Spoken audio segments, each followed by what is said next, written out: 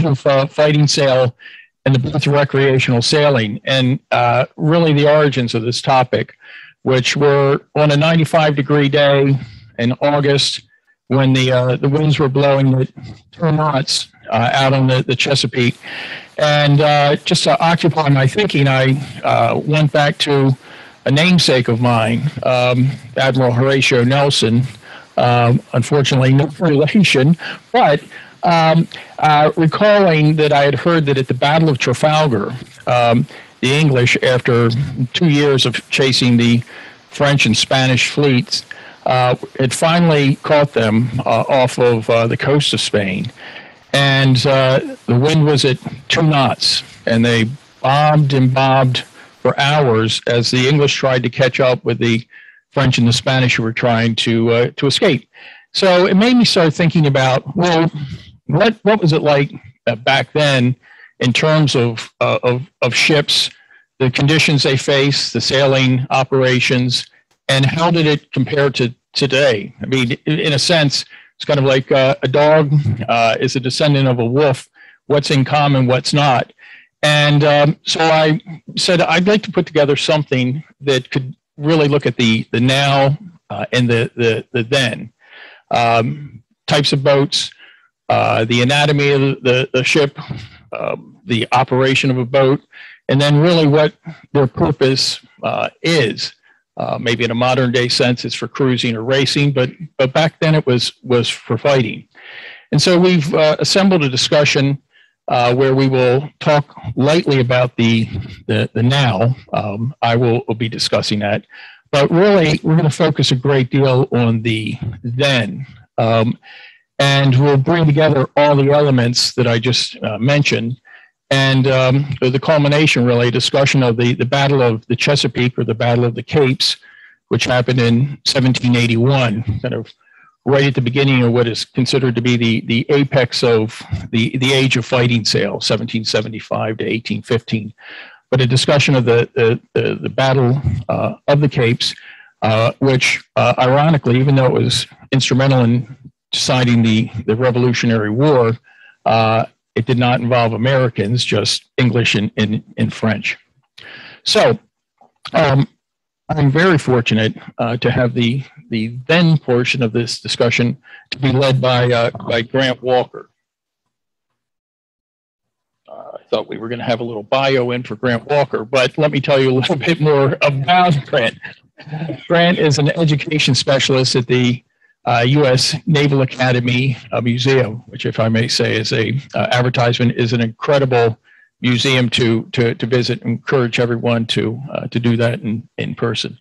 Um, but um, Grant, an education specialist, uh, actually had gone to West Point and uh, crossed the Rubicon at some point um, in the early 80s to come to the Naval Academy, getting his uh, uh, in postgraduate work at um, the there, there we go.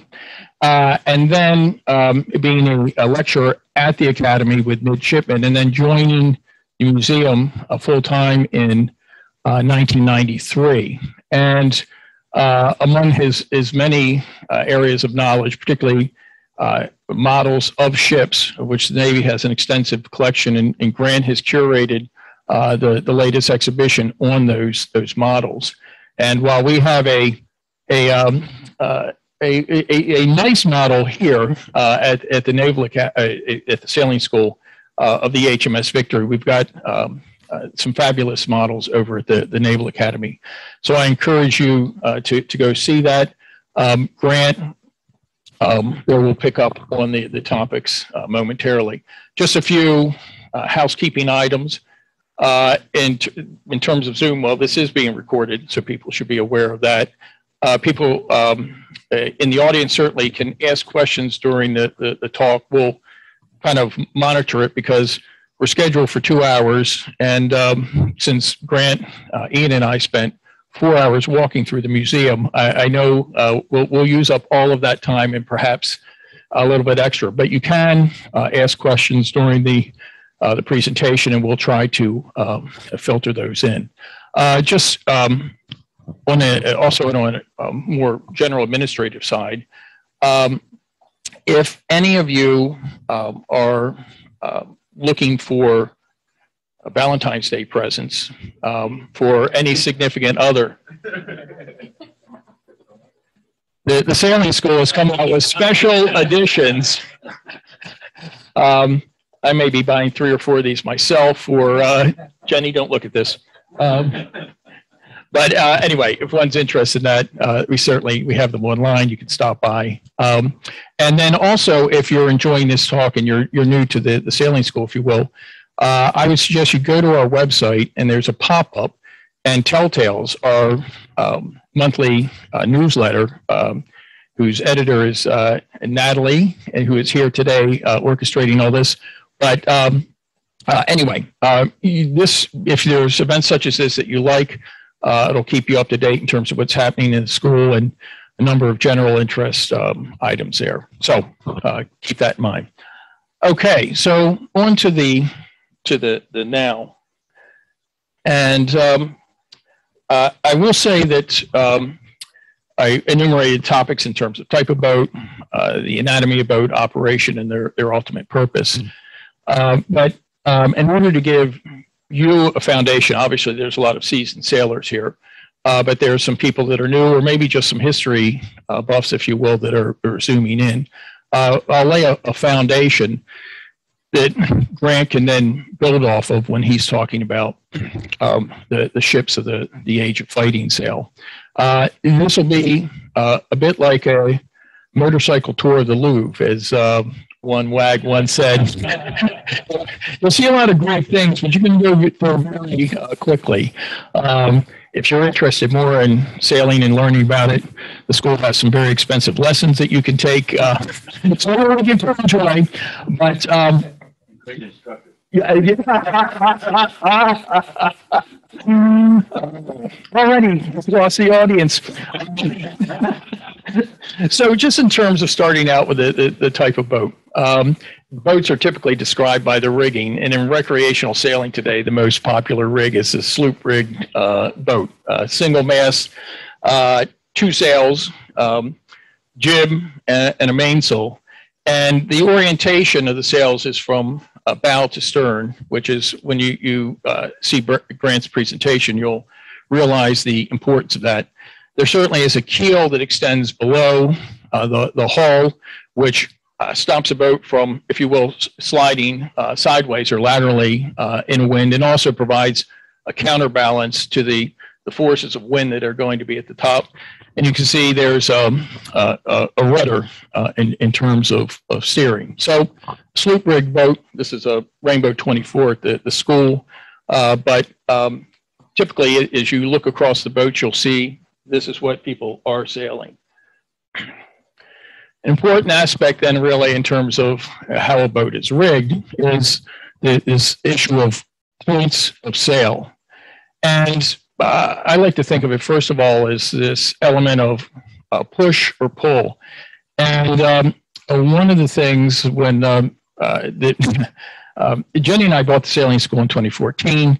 Um, sailing was really new to me. Jenny is the the expert sailor, so I like I think a lot of people thought, well, sailboats move forward because they're pushed.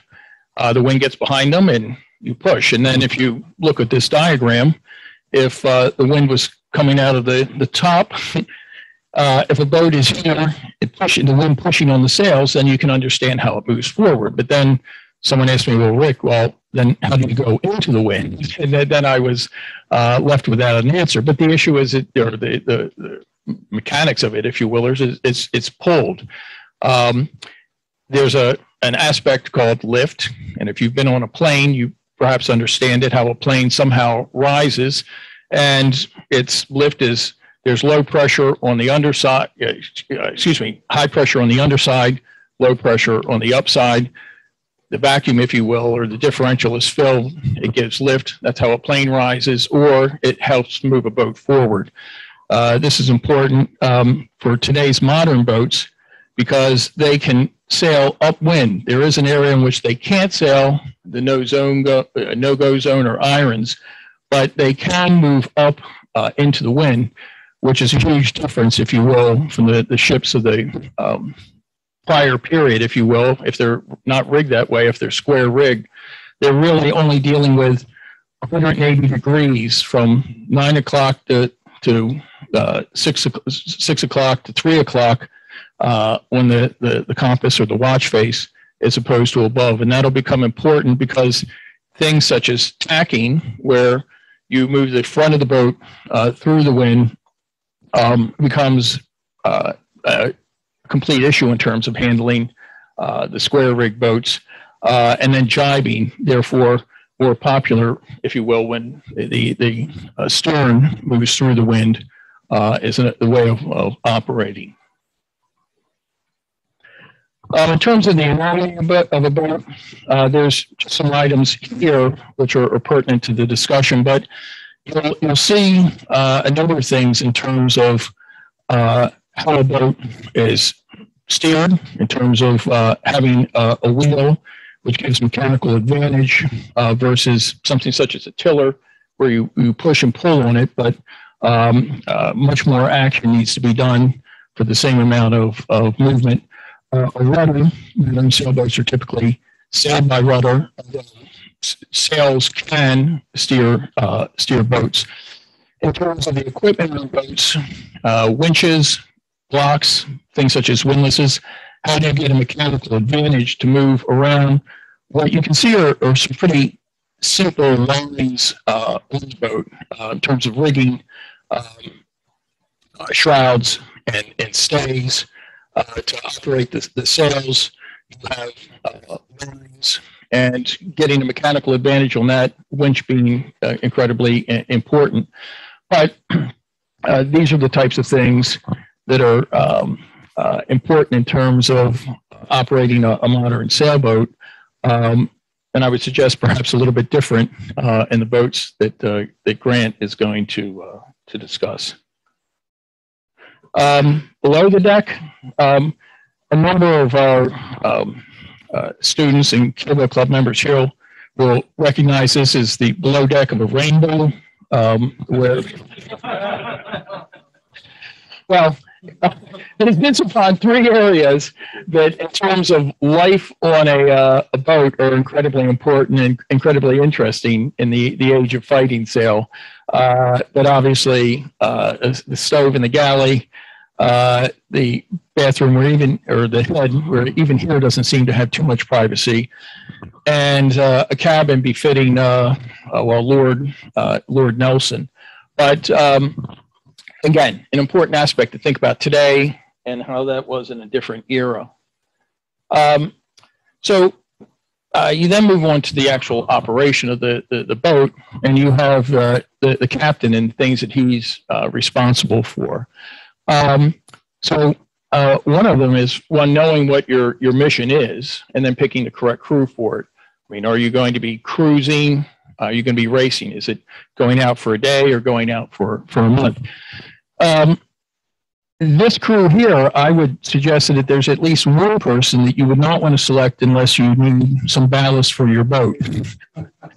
but uh, uh, ASA uh, in their, their books, and we've drawn uh, the, these slides from um, uh, our, our collection of, uh, of courses, ASA 101, um, Basic Keelboat Sailing or Sailing Made Easy, which then I guess makes 103, Coastal Cruising, Sailing Made Difficult, and, then, and then 104, which is Bareboat Chartering. But one of the things they discuss is the importance of selecting your crew, having them know their position, and then uh, commanding them. And um, uh, with this motley crew, perhaps not so difficult, but I think as Grant will illustrate, uh, critical in life and death um, in the age of fighting sail.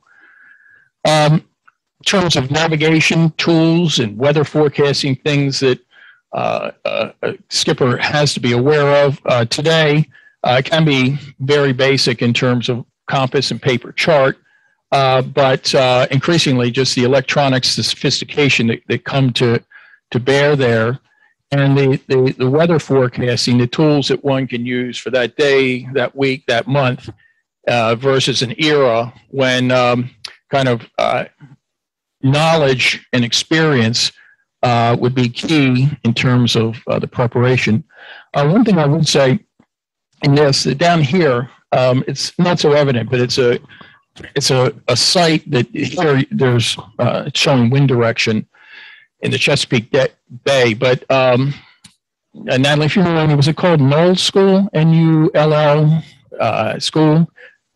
There's Null School. Uh, I would recommend people just to take a, a, a look at it. Uh, Ryan Miller, previous speaker, uh, the meteorologist um, in NBC4 in DC, he spoke at the Keelboat Club and he sent us to that site. And if nothing else, just the the artistry of it is mesmerizing, even if you don't want a, a, a weather forecast.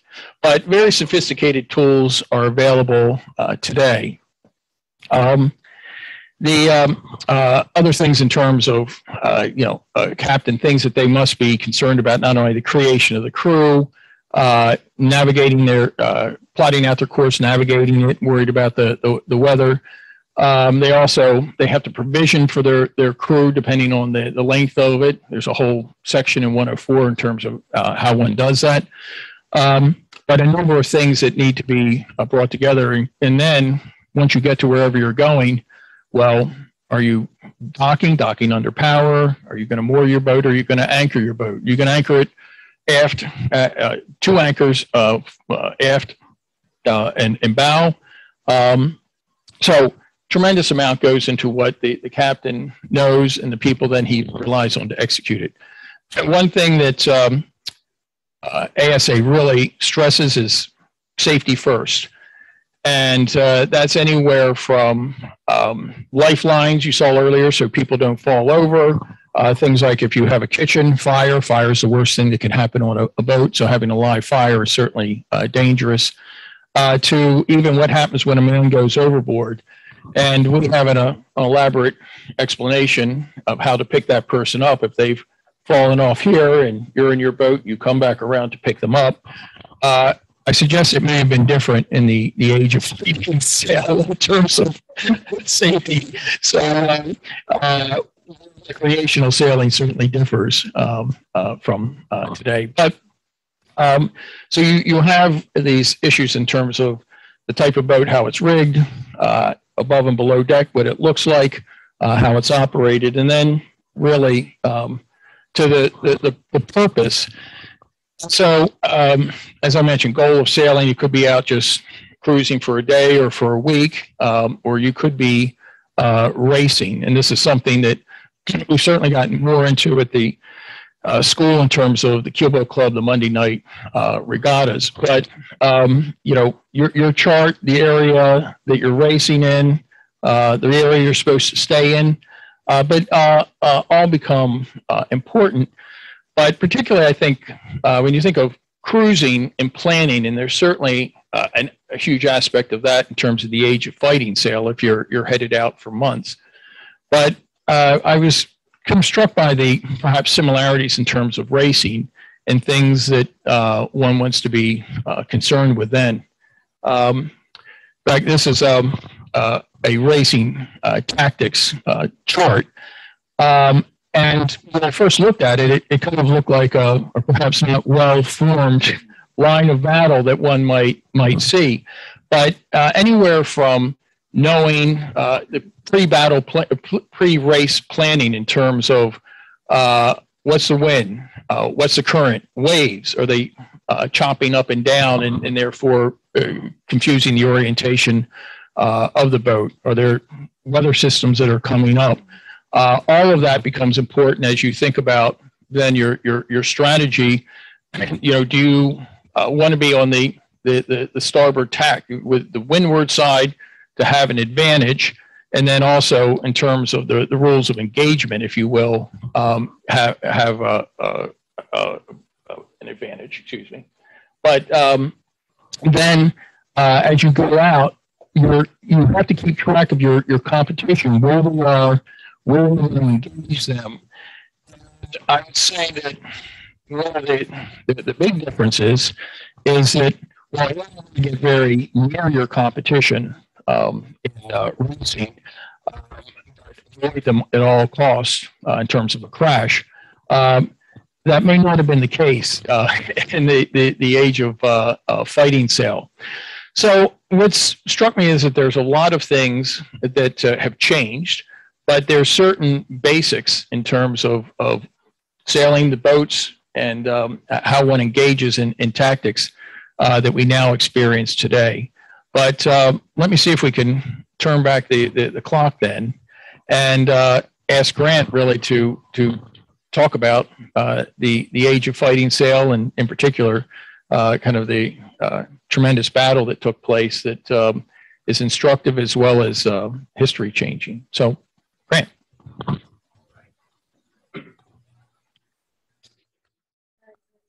How's that? Better?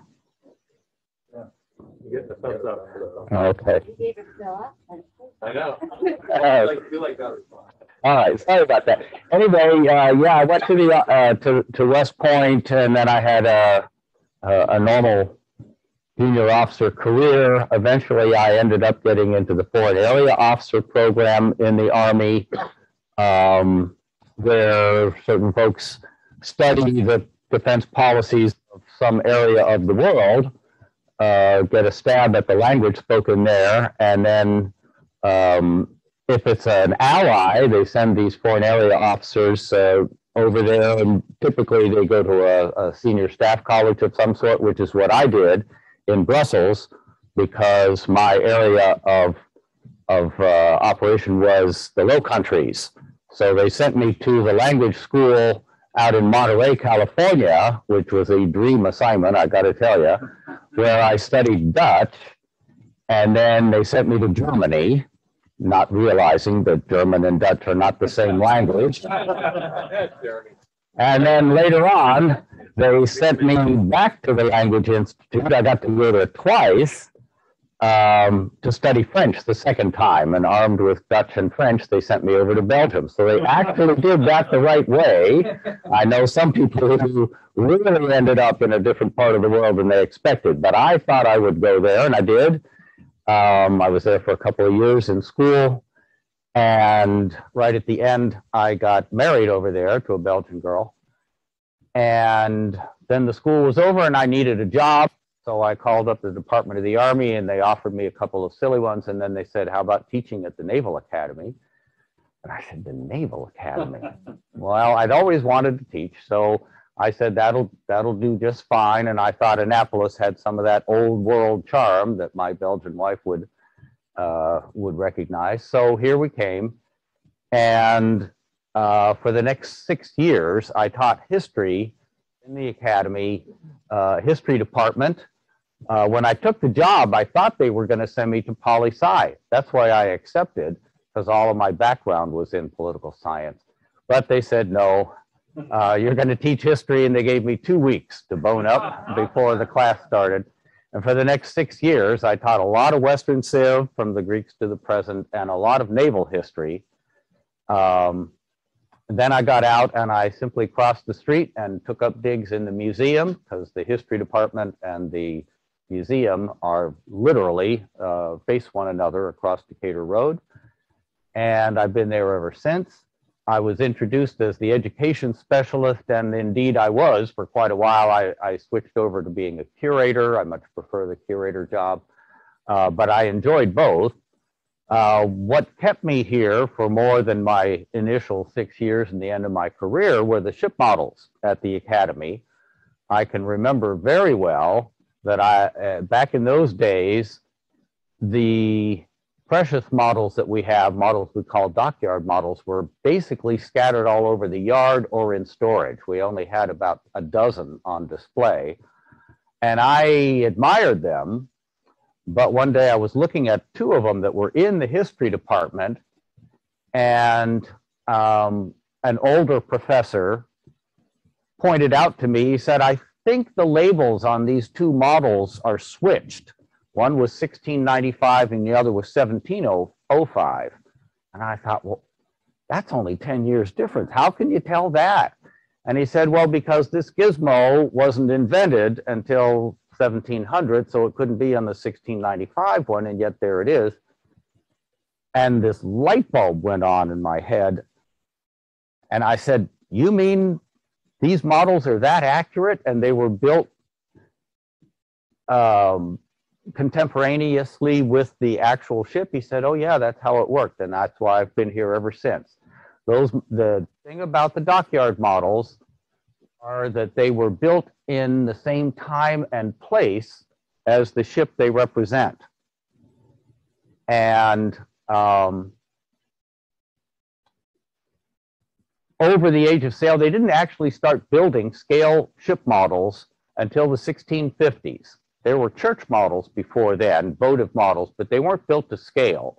We may have the oldest one in the world uh, at the Academy. There's a Swedish one that claims to be from 1653, and our oldest model drops somewhere between 1650 and 1654 doesn't matter which one is older in, in the long run. What we can see is how they were building ships in the 1650s. And um,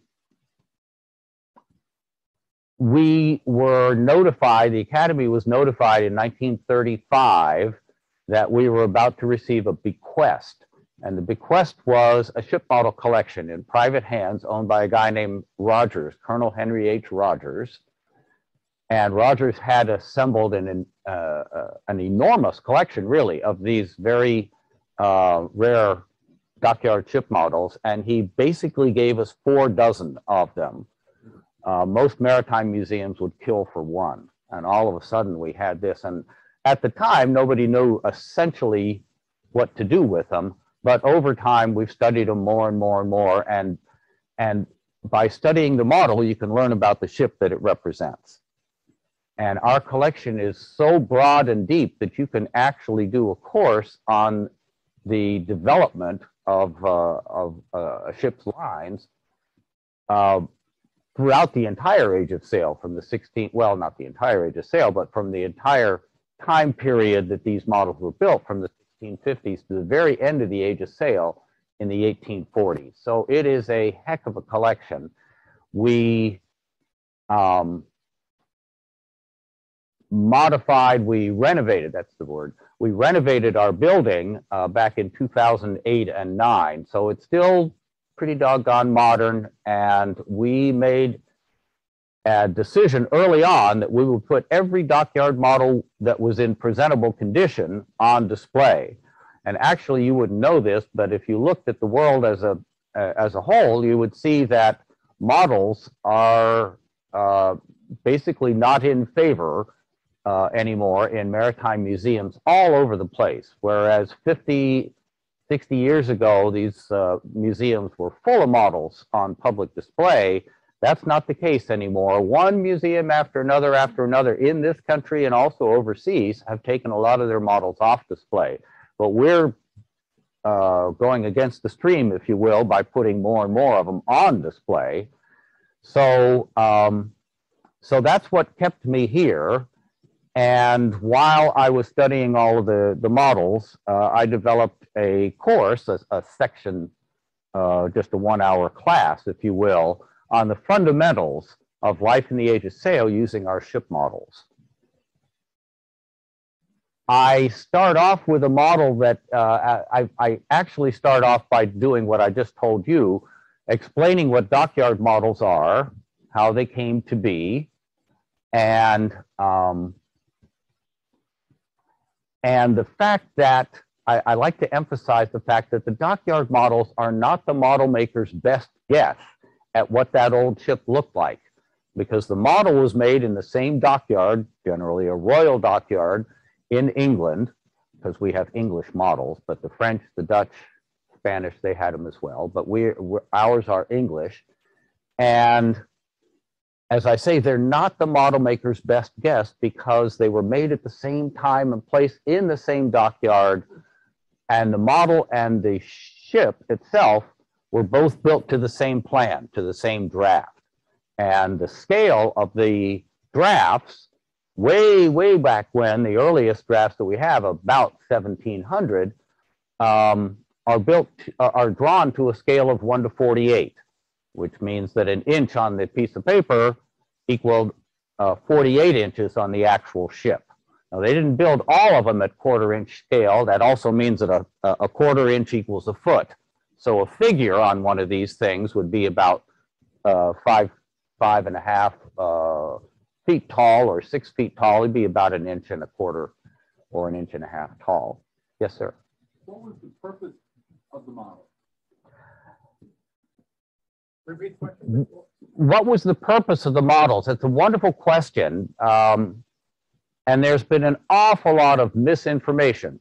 We're in the age of misinformation, but it's been out there for a long time, trust me. Um, when people realize that the models and the ships were built at the same time and place, they almost always conclude, well, they must have built the model first because that's the easy part. And then they used the model in the construction of the ship. And they worked out all, you know, could you get all these benches? Could you fit that many guns in it and so forth? That's actually not true. These dockyard models took several years to build. They were built um, by under the direction of the master shipwright of the royal of a royal dockyard where ships were being made for the king or queen. And some of the people, I, I'll use an example. There was a guy named Charles Sergison, S E R G I S O N. He was a very high ranking guy for 30 years in the civil side of the Royal Navy. Uh, back in the time of Pepys, back in, in fact, he followed Samuel Pepys, the great diarist, in office. And he was a, he was a very high ranking guy in what we would consider the Department of the Navy. He'd be on the SECNAV staff and he would be very high in relative terms. And everybody in the Navy knew that Charles Sergison loved models, really, really nice ship models. So if you wanted to get in on the good side of Charles Sergison, what did you do? You gave him a ship model, a nice ship model. And in return, Charles Sergison would say, Well, thank you very much. This is going to look great in my house. And maybe I can do a good turn for you in your career. They weren't bribes the way we think of it, but they were kind of bribes. And they, they were not built and paid for by the Navy. They were built and paid for by individuals, and they were bestowed upon high ranking uh, individuals in the Navy, like retired admirals and captains and members of the King's Navy Committee and so forth. And they would take these models and whisk them off into the countryside and set them up in their great piles of bricks that were all over Scotland and England. So at one time, these models were literally scattered all over England and Scotland in great manor houses and castles and whatnot. And they were passed down from generation to generation. But the idea that you could spend two, three, four years working on a ship model before they started building the real ship to defend the shores, it just doesn't hold up at all. They did use models in the design process, but our dockyard models, like this model, are hollow. And um, they're as nicely fitted out below decks, even where you can't see them, as they are on the exterior. Um, and it makes little sense that they would wait around for a couple of years for a model to be built before they started building the actual ship. But some clever people in England figured out once they had determined that uh, one way to describe a three dimensional ship on a two dimensional piece of paper um, is by means of water lines, horizontal water lines. And you could see, I, sh- I should have a draft here or a plan, but you'll see that um, from the keel up, they would draw lines on there and then they could use that uh, to help describe the actual shape of this three-dimensional uh, object. And they did that on paper and then they started doing it on models. Or maybe they first did it on models and then figured it out, figured it out on paper, but about the same time.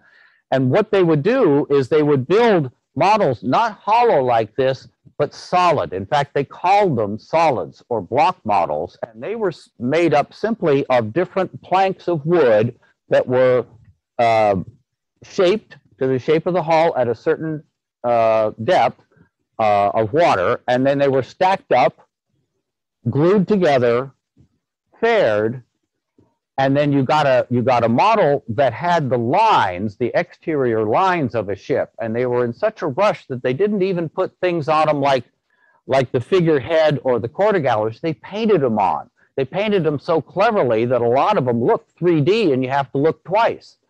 But they could turn out a block model in as little as three weeks.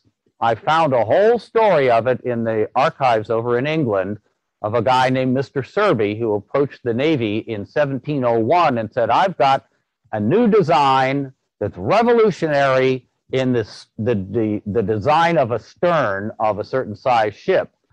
And they said, well, okay, maybe so, but um, just like not everybody in the Navy Department today can read a blueprint, a, a ship's plan, they couldn't back then either. But what they could do is they could look at a model. So uh, the guy in charge of this whole operation directed two of the master shipwrights to, to and send to London a block model of their next proposed ship of that same size. And they were supposed to do that in two weeks and bring those, those models to London where they would compare them with a block model that Mr. Serby had made. Well, they didn't make it in two weeks, but in three weeks they did. Three weeks later, they were there. They put these block models on a table, pulled on chin whiskers, and they said, Mr. Serby, there's nothing new in your design, so hit the road. And then he, he came back with another design later on. But the block models could be turned out in such a short period of time that they did become part of the design process. As a matter of fact, after 1715, the master shipwrights at the various, there were about half a dozen of these royal dockyards, they were required to submit, along with a plan for their next proposed ship, a block model with it. So they, they did that. Um, those were probably made by the master shipwright himself. He's a very busy guy, but uh, the block models he could probably do. He didn't have time to make dockyard models. He always fobbed that off on some of his subordinates, and um, they found some the the sailors that were best equipped to work in miniature and put them to work. They got the the actual shipwrights, the guys who made these models, we call them model wrights. They got paid the same salary they would have gotten had they been pounding great big spikes into full size ships. Only they were given a shed or a hut. They had a nice stove. They had an apprentice to keep it stoked. Life was good. Um, the only thing they couldn't do with the model once they were done with one of these dockyard models is keep it. They had to turn it over to the master shipwright who put his name and initials on the model, not the guys who actually made it, but his name. And then he gave it to people like Charles Sergison and said, This is my gift to you. And Sergison turned around and did, uh, the, did the master shipwright a good turn. So that's how they worked. They were the, the, the short answer then is that they were designed and built as gifts, as gifts. Only the solids, the blocks, were made um, as part of the design process. And I also have, I found a letter from one of the master shipwrights sent into London saying, okay, I sent you my block model for the last thing. Can I have it back? Uh, we want to do some stuff with it. And they wrote, and they wrote back and said, no, you may not have it back. Now it's part of the record of that ship. So there are no block models anywhere except in London. Those became property of the Navy. There's 68 of them over there, and um, uh, there's hardly any in private hands anywhere. So that's a long-winded answer about what was the, the, the purpose of these dockyard models. In a couple hundred years in the age of sail, starting at about 1650, they turned out about 450 or maybe 500 of them. Um, and our collection has over 50 of that number. Um, as I said, in Greenwich, in London, they have 250, which makes sense. They're English. Um, but if you went over to the National Maritime Museum today, you'd only find about half a dozen models on display. All the rest of them are in storage. And the Dutch have taken their models out. Uh, they're kind of worried about rising waters in the Netherlands. And um, so they moved them way inland into the Dutch Alps, which are about 100 feet. What, what, the models float? Uh, no, we came pretty close, close to trying, uh, to experimenting with that in Hurricane Isabel. You remember Isabel a while ago? Um, Isabel wiped out the academy. All of the buildings on the river were flooded. And we had one of our models over in one of those buildings and it was about, uh, it was on a table about this high off the ground. And the water came to about there.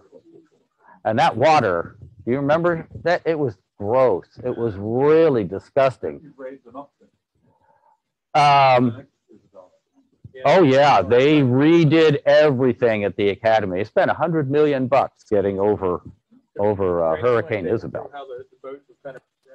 Yeah, okay. So that's, uh, we haven't even gotten to this, but when I did the, this hour-long course for midshipmen on the development of, of the sailing uh, warship, I describe a ship, and I'll show you this ship in a moment. In 1637, they built a very important ship in England called the Sovereign of the Seas, and she was, um, she she was the product, if you will, of two building traditions that grew up in Europe after the fall of the Roman Empire. So you go way back into the 470s and so forth. Rome is gone. And in the vacuum that was created, two different shipbuilding, uh, um, uh, uh, what do I want to call it? Two, two different ways of designing and building ships grew up. One in the north, one in the south. When I talk about the north, I'm talking about England and northern France and uh, uh, Germany and so forth. When I'm talking about the south, I'm talking about the Mediterranean. And as I say, in the five, six, seven hundreds, uh, shipbuilding took a back seat, but gradually they started building, and they were building a certain kind of ship that basically derived from the Viking ships. Everybody knows what a Viking ship looks like, and the that's that gave the drive to all of the shipbuilding in Northern Europe for several hundred years. Meanwhile, down in the Mediterranean, they were developing their ways of doing it, and they didn't know what what uh, the people in England were doing, and the people in England didn't know what the people in the Med were doing when it came to designing and building ships until a certain series of events occurred in the high Middle Ages that mixed the North and the South and their building traditions. What was that? Do you have any idea? In the mid, this would be in the 1200s, 1300s, the Crusades. The Crusades is where these two building traditions came together. And I imagine when the guys from England worked their way down the coast and entered the Mediterranean through the Straits of Gibraltar, they probably looked around with great big eyes and said, What in the heaven's name is that thing sitting here? And they're all over the place. They don't look like our ships. And I imagine the reaction in the Med was the same thing. What are these things coming from England? We've never seen ships like that before. And without going into all of the specifics, between the 1200s and the 1600s, what shipbuilders did is they took the um, the most usable features of both building traditions and mixed them together. And by the 1500s, certainly late 1400s, 1500s, they were building that kind of a vessel, which is called a carrack. C A R R A C K. And if you'll notice here, these things were um, very heavily built up on the bow and stern. In fact, they called these things castles, and that wasn't a that wasn't a, a, a mistake, if you will. warfare at sea in uh, in the Middle Ages was essentially warfare on land shifted to ocean or, or, or seagoing vessels. In other words, what, what they were doing in the Middle Ages is they had castles.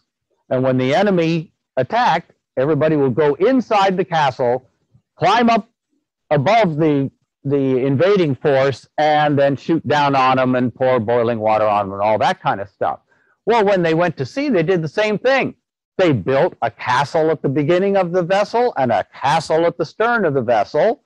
And when they were boarded by a, an enemy force, everybody retreated into those castles, climbed up to the top, shot down on them with bow and arrow, or eventually with uh, with guns, and they would pour boiling water on them and so forth. It was the same thing. But if you've got a vessel and you've got a great big tall castle up here and a great big tall castle here, is it going to have very good sailing qualities? No, it is not. Absolutely not. So little by slowly, those castles came down. This is a Carrack. Let me see, what have I got to go here? So the fo- forecastle, that's where that name comes from then? Yeah, the forecastle. Sorry, I meant to mention that to you. Yep, the forecastle is the forecastle, and the aftercastle just became uh, the stern. This is uh, a battle right here with a number of different kinds of vessels on it. Um, but this great big one over here, this is a Carrack again, and you can see that this thing uh, was sailed, the smaller one right here, they were sailed with square sails. But are those sails actually square? That's a trick question. They're not square. They're kind of an odd trapezoidal uh, design. So if that's the case, why did they call them square sails? Why did they call the ships that, that carried them square sailors? Anybody know? Have you ever thought about that? They called them square sailors because this, the sails, the, the main sails on them, um, if there were no wind, they would hang 90 degrees to the direction the ship was pointed. They'd make a square angle right there. They were transverse. They crossed the deck from port to starboard. So um, that's where the term square sailor came in. And these guys were square sailors. The boat on the right, more like the Mediterranean design. Um, uh, yeah, this one over here, this is a galley. I had in, uh, included galleys in this talk this morning, and then I dropped out most of the slides because galleys were pretty, pretty much particular and they didn't follow the same path uh, of development that the square sailors did. So I kind of uh, reduced this to square sailors, but indeed, these things worked very well in the Mediterranean all the way up to the 1700s. They were more rowboats. They were rowboats. And as they were rowboats, they're just in, in concept, they're just the same as the way the ancient Greeks did it with their triremes. What was the firepower on a trireme? How did they how did they fight way back in, in the Battle of Salamis and whatnot?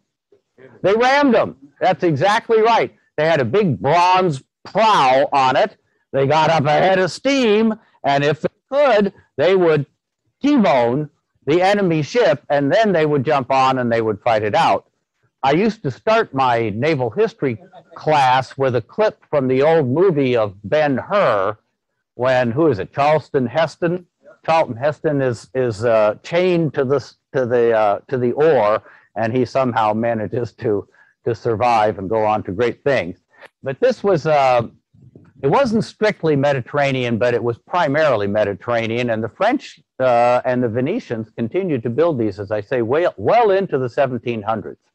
And they were as bestial as the stories are, many tales that people could smell them coming from a long ways away.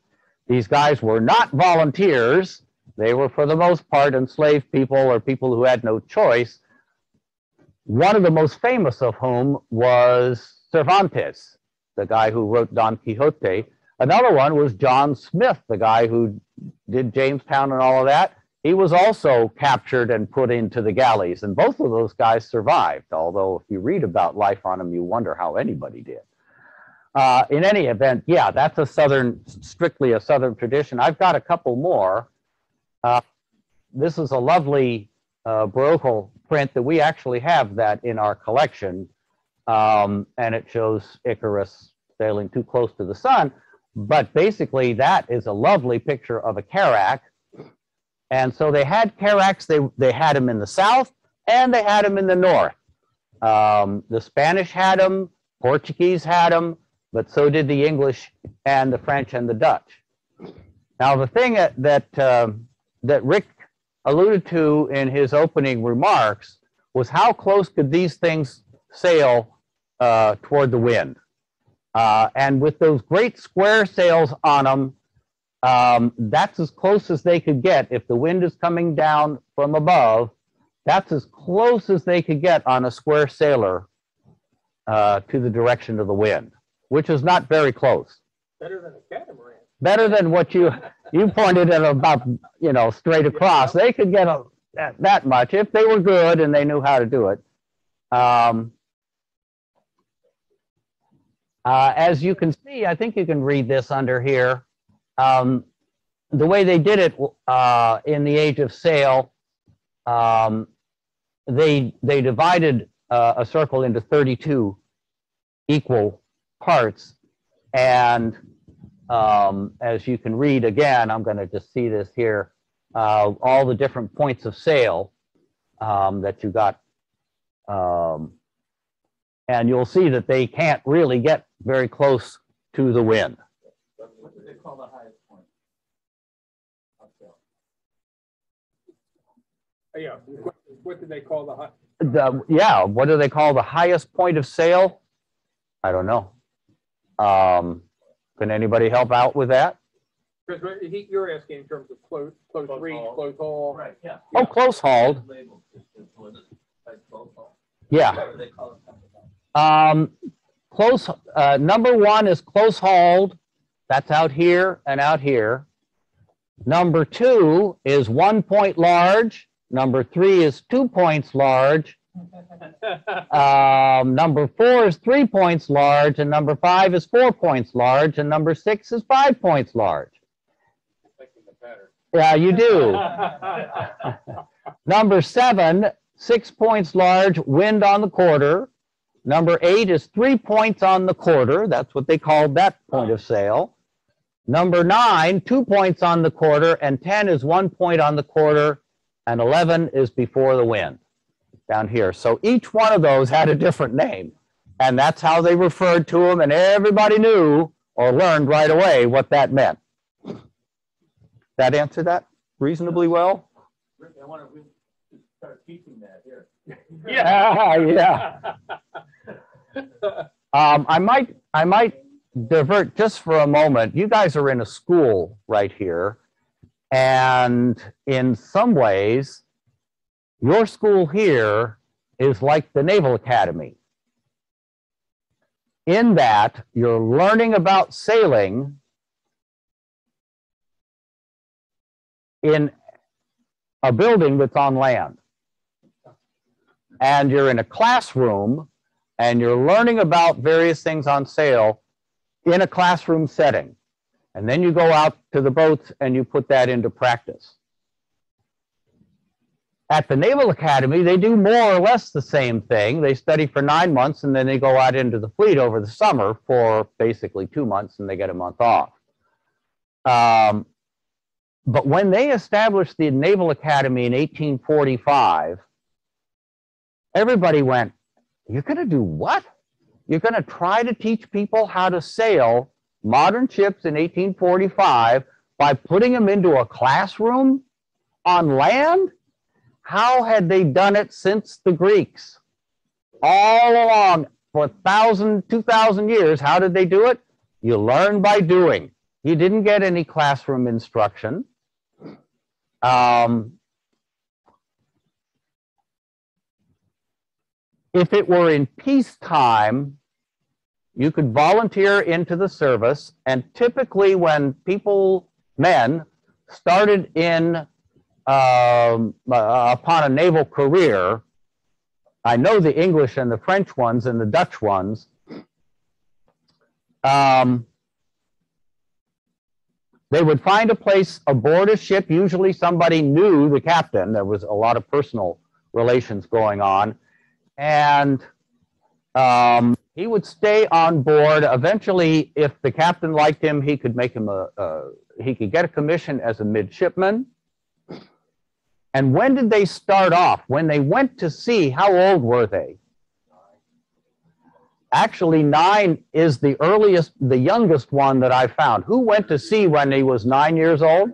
Farragut did. That's right, David Farragut. Goodbye, Dad. Goodbye, Mom. I'm off to make a man of myself. I'm nine years old. Damn the torpedoes. Exactly right. That's pretty young. Uh, but 11 and 12 and 13 is not. And so these men of war were actually crawling with children on occasion.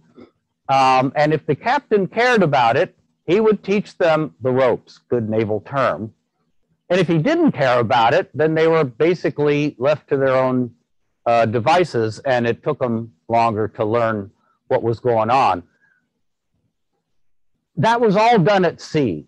What caused the Naval Academy to be founded and opened here on land in 1845? What major development out there made the old way of doing it a little obsolete? Steam power did. Absolutely. Steam power. Because steam power takes an engine to run it, and an engine takes an engineer to run it. And somebody out there must have thought, well, you know, they've had steam engines since what, 1768? I think that's when Watt did his thing. The early engines on them were just terrible. What kind of fuel did they use? The earliest engines in the late 1700s. Whale oil? Wood. Ah, it was wood, just wood. It was the worst uh, um, uh, fuel. Do you think those early steam engines that they put on ships worked perfectly? I imagine they spent more downtime than uptime. And the Navy said, we don't want anything to do with that. But by the 1840s, the U.S. Navy said, well, maybe, maybe now they're getting more, more uh, efficient. And there were, uh, well, that, that basically drove uh, the experiment here to start a school on land so that they could study steam engineering and they could study uh, hydro dynamics and thermodynamics and all of that business. So that's why that happened. But uh, that was that's uh, a diversion there. But when they went to sea, they had to learn all the points of sail. And on those square sailors, they could only get uh, uh, moderately close to the direction of the wind.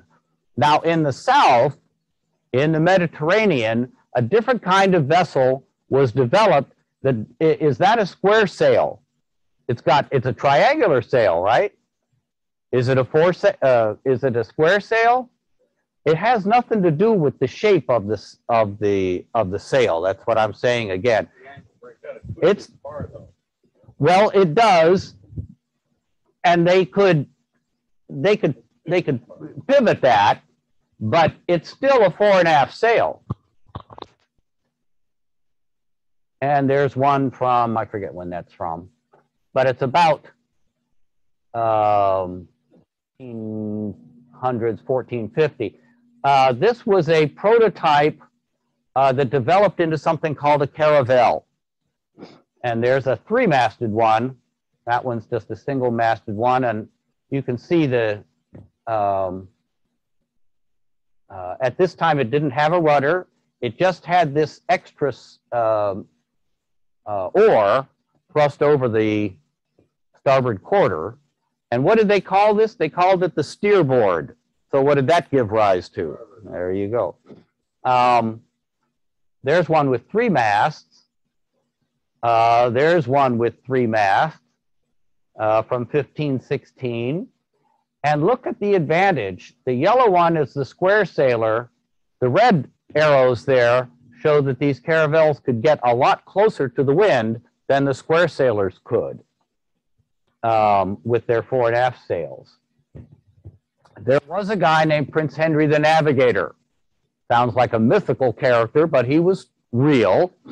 Um, and he sent out expeditions, one after another, from Portugal, and they worked their way down the west coast of Africa, getting closer and closer the, uh, to the to the Cape here.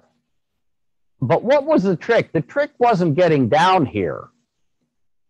The trick was getting back again. And square sailors couldn't do this. They could get down there, but they couldn't get back again because they couldn't sail against the wind um, efficiently. Eventually, Diaz got all the way down to the end and then turned and came back. When they did that, you know, it's something I have to emphasize with the mids because they're not used to this unless they're on the sailing program.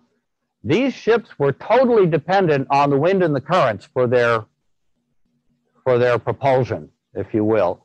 And the currents were big time, so they had to follow these things and go all around in order to get back again. You can kind of follow this um, uh, when they would get all the way down here, then they would sail back to this, up to here, and sail back home again. You could do that with a ship that was rigged with that fore and aft sail. I forgot to tell you what it's called. It's called a lateen sail, L A T E E N, for Latin for the Mediterranean.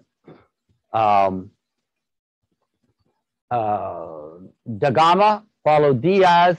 He made it all the way over essentially to the Horn of Africa and then um, crossed the Indian Ocean, and the rest was history there. And he he had to get back as well. Say again? Pardon. Did, did Hmm. you finish your thoughts? Yeah, go ahead. So do caravels have a, any type of like uh, Southeast Asian influence at all? They, they sort of, I think it's called like a junk. Some of the, the No, it's it's called. I think you're thinking of a dhow. oh, is that what it is? It's a Okay, right. Is Similar. I mean, not Yeah. exactly. I- just curious. I don't know who influ. No, they, I would imagine these were influenced by the dhows. Uh, I hadn't actually thought about that, but I did get to Zanzibar one time, and I looked out on the water, and boy, I thought I was living in 500 AD because they're just plowing the the uh, the horizon just like they always did. That was really that was really fun. I I think there must have been an influence there. So, Brian, just a, a- a question. So the Latin sail, which is uh, a little bit more like that sloop rigged uh, Yeah. uh, model that we Very or so. diagram that showed. When did did the concept of lift though uh, come in? Was it ever written about? Only in that when I looked at that with that that spar, which is very hard um, on the uh, uh, what I guess we would think is the luff of the sail. It, it, it doesn't look like the sail could shape very much to create that differential between uh, you know high pressure and low pressure. all of the pictures that you see, the paintings and whatnot, show those sails billowed Oh, way out, you know. So I think a lot of those are a little bit of artistic license. Um, but they they they did hang with a, a, a great bulbous shape um, in the early in the early period for sure. Uh, we come up here with a uh, a mix of square sails and Latin sails. There's another one with three masts on it. They did make these with four masts. Uh, that's a replica of, uh, you know, the Nina and the Pinta were both um, caravels, and the Santa Maria was a carrack. But they cheated a little bit by putting square sails on a caravel, which gave it another name, a caravel redonda, and everybody knew what that meant. Uh, if um, if they were if they proved advantageous, so they could re-rig these basically on the on the go if they needed to. And another one. And another one, all mixed uh, with the uh, mix of lateen sails toward the stern and square sails up forward. This one, you could look at that That's from about Henry VII's time. And you could tell that this is, this is different. For one thing, different from a, from a, um, a caravel certainly, but also different from a carrack in that it's got this great jutting prow out here, and then the forecastle is, is um, offset toward the stern. And this is a, this is a mark of a, of a galleon. That's what they called them. So both of the castles had been way uh, cut down from the carracks.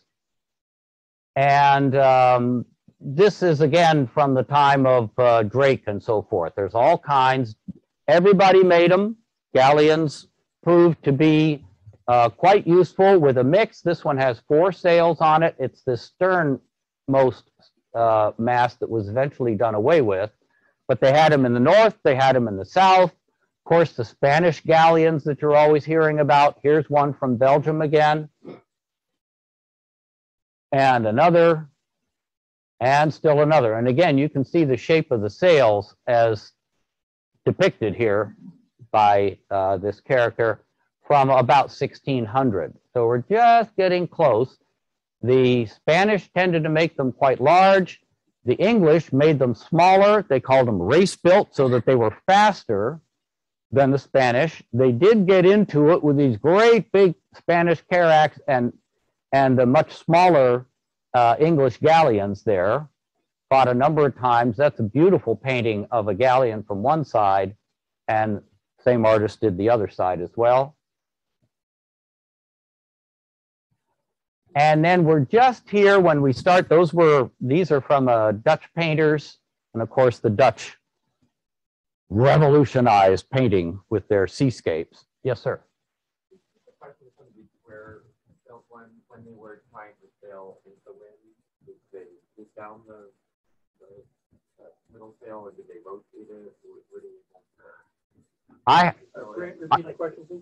yeah, um, basically, how did these square sailors uh, deal with sailing into the wind or tacking when they had to? I, I meant to bring a book. There's a book uh, by a fellow named John Harland, a Canadian who just passed away. And it details all of the instructions that it took that the captain or the master or his lieutenants had to learn. And, and then they had to whip that crew into shape to, to follow their commands. And a simple tack on an easy day had about 40 steps to it with releasing certain lines, dropping sails, raising sails, and trying to make, make it get all the way through the wind instead of not making it. And then they're in irons and then they're in a mess. But the simplest maneuvers took, like I say, 40 iterations or, or thereabouts before they, they actually did it. And that's what they trained on these things. It's not efficient. A lot of ships, they, you know, they tried to attack and they couldn't make it. Um, and the best crewed ships could do it better than the worst crewed ships. So that's kind of a wishy-washy answer, but Trying to pivot that, is it the yard arm or the bar? I forget what that the yards, yeah. The yard, they're they're pivoting them. Oh, they do pivot. Absolutely, they pivot. Try to sail. Right, but sometimes when they pivoted, they had to drop certain lines that were in the way and, and so forth, yeah. And you, two things, uh, Grant, that you might, uh, mention, and one, I mean, how, I showed an illustration of a very simple set of lines. You have a, a jib sheet and a main sheet. And so how many lines would a boat have to, to, uh, to execute these kind of difficult procedures then? They had miles of, of, of lines on them. Um, how many lines? There are many, many, uh, somewhere in here, I have a diagram of the lines. It- it- uh, I- Let me not jump in, quick. but anyway, I think it's, just interesting in terms of complexity. Oh, seriously uh, complex, I guarantee you. Um, this is the ship that I use to start off my class, the ship model I use. It's uh, this is the Sovereign of the Seas of 1637, and A, it doesn't belong to us; it's on loan, and B, it's not a dockyard model. So I extol the virtues of dockyard models and so forth to the mids, and then I start my class, class off with a model that's not a dockyard model because that represents a ship from 1637, but the model wasn't built until 1918. So in effect, this is the model maker's best guess at what that old ship looked like. There, she was very famous, so she was painted all the time and there's uh, there's a couple of plans from her and so forth. Um, but I use this to show a couple of things. One reason I use it is because it's got sails on it, and most of the dockyard models don't. Even if they did when they were built 250 years ago, they've frittered away. Um, but this one, which is now, it occurred to me the other day that this is now over a century old. Uh, it's got all the sails on it. So I go through the square sail and the fore and aft sail and so forth with the kids. I show them the Sovereign of the Seas was a was a groundbreaking ship that set the standard for other ships for a couple of hundred years.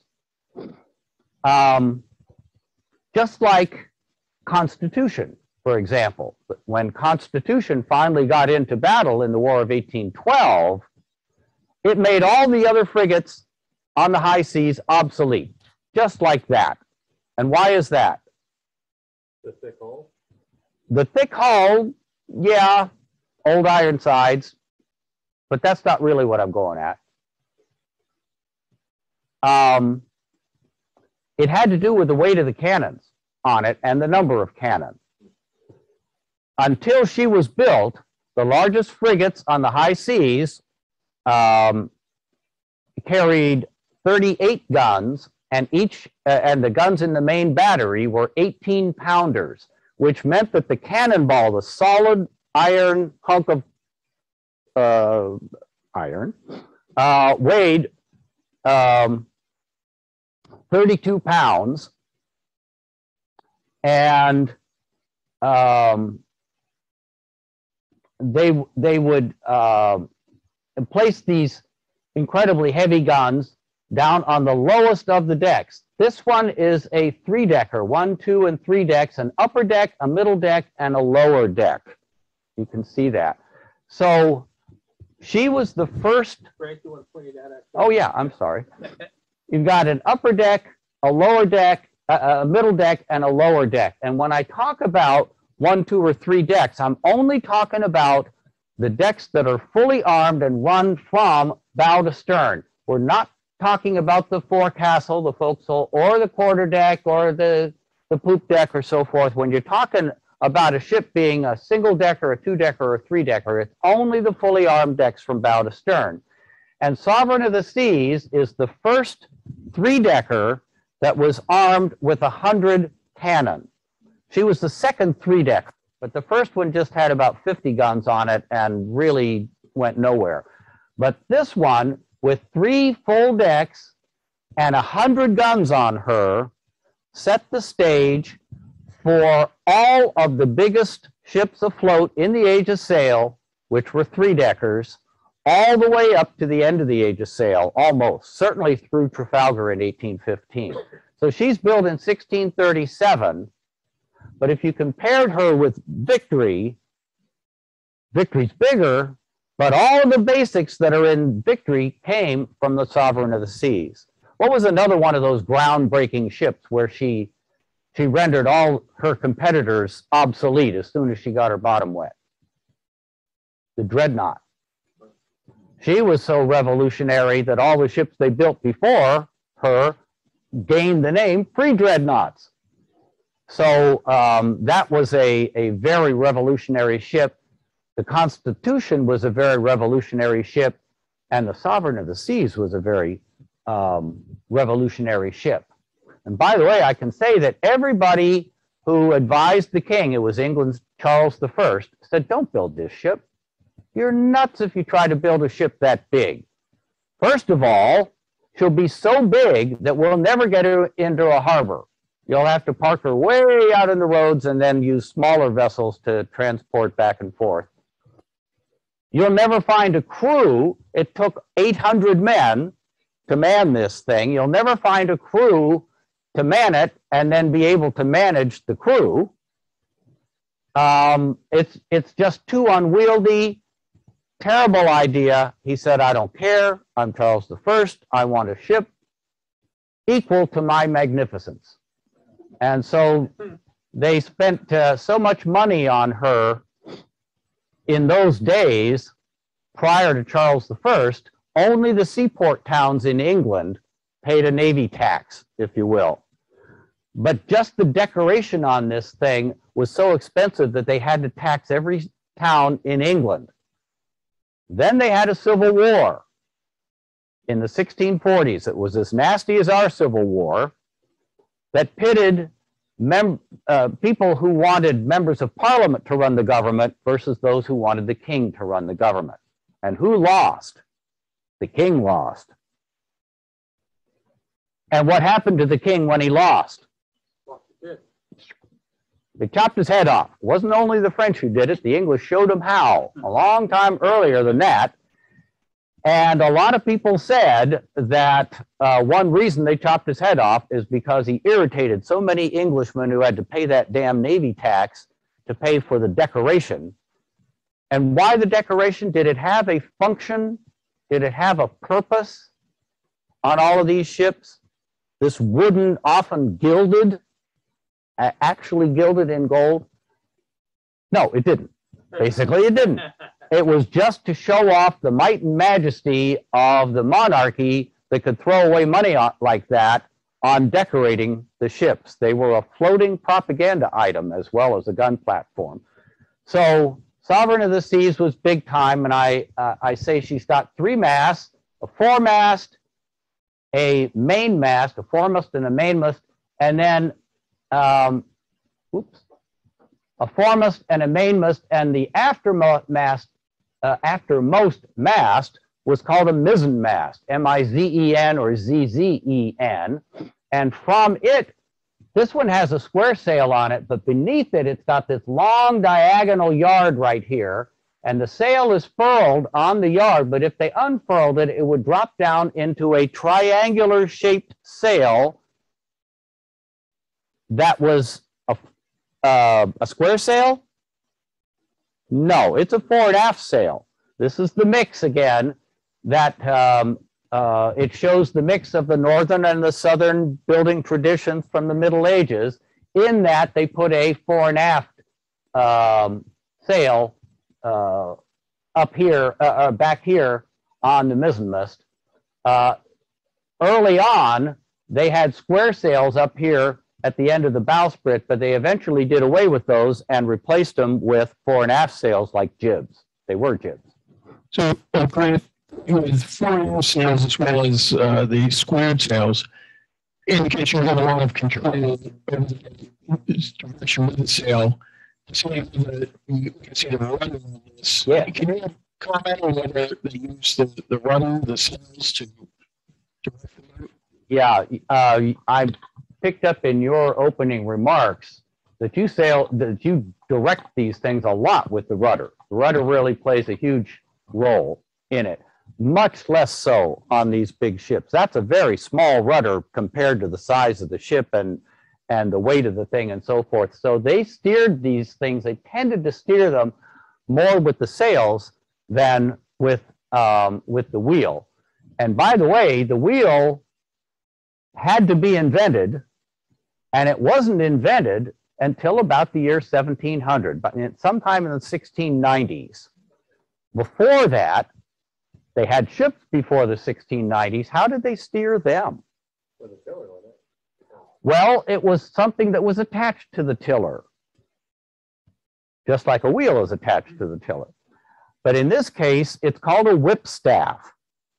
W H I P S T A F F. And it was just a single timber that was ho- taller than the helmsman, and he stood behind it.